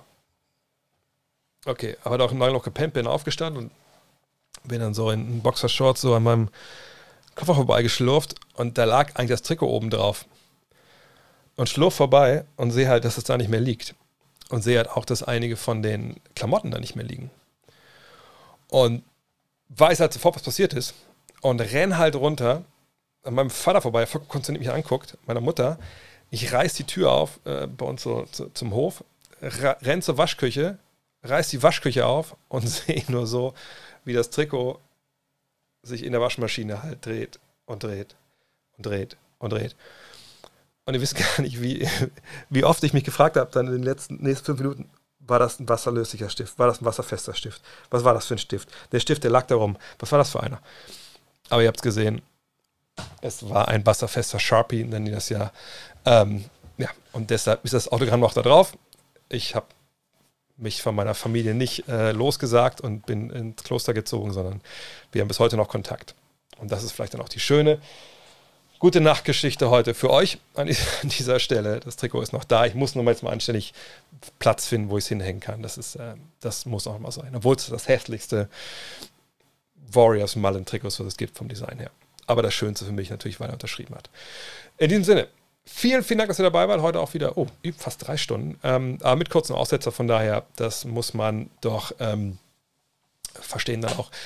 Falls ihr noch nicht abonniert habt oder noch nicht folgt und jetzt sagt, ja, aber das jetzt, jetzt spätestens jetzt sage ich, mache ich, macht das gerne noch. Äh, vielen, vielen Dank an alle, die dabei waren im Chat, alle, die, die, die supported haben mit, mit Abos, mit, mit Follows überhaupt alle, die ihr meinen Content äh, konsumiert. Macht unglaublich viel Spaß und jetzt kann ich es nochmal sagen. Morgen geht es schon weiter mit dem Weinkeller. Landwehr und ich. Eine Kategorie kann ich schon mal verraten. Morgen geht's, Felix, danke fürs Folgen. Morgen geht es zum einen um Teammates, die mega abgeräumt haben. Zusammen. Könnt gerne auch in diversen sozialen Kanälen Vorschläge machen, wie ihr da gerne sehen würdet. Morgen, Jan, The Goat. Morgen, 19 Uhr an dieser Stelle wieder der Weinkeller mit Len Wern und ich. Wie gesagt, ein Thema ist auf jeden Fall Teammates, die abgeräumt haben. Und äh, ja, mal schauen, ob wir uns da wiedersehen. Ansonsten Podcast gibt es auch die Woche natürlich. All die guten Sachen. Bis dann. Vielen Dank. Hat mir sehr viel Spaß gemacht.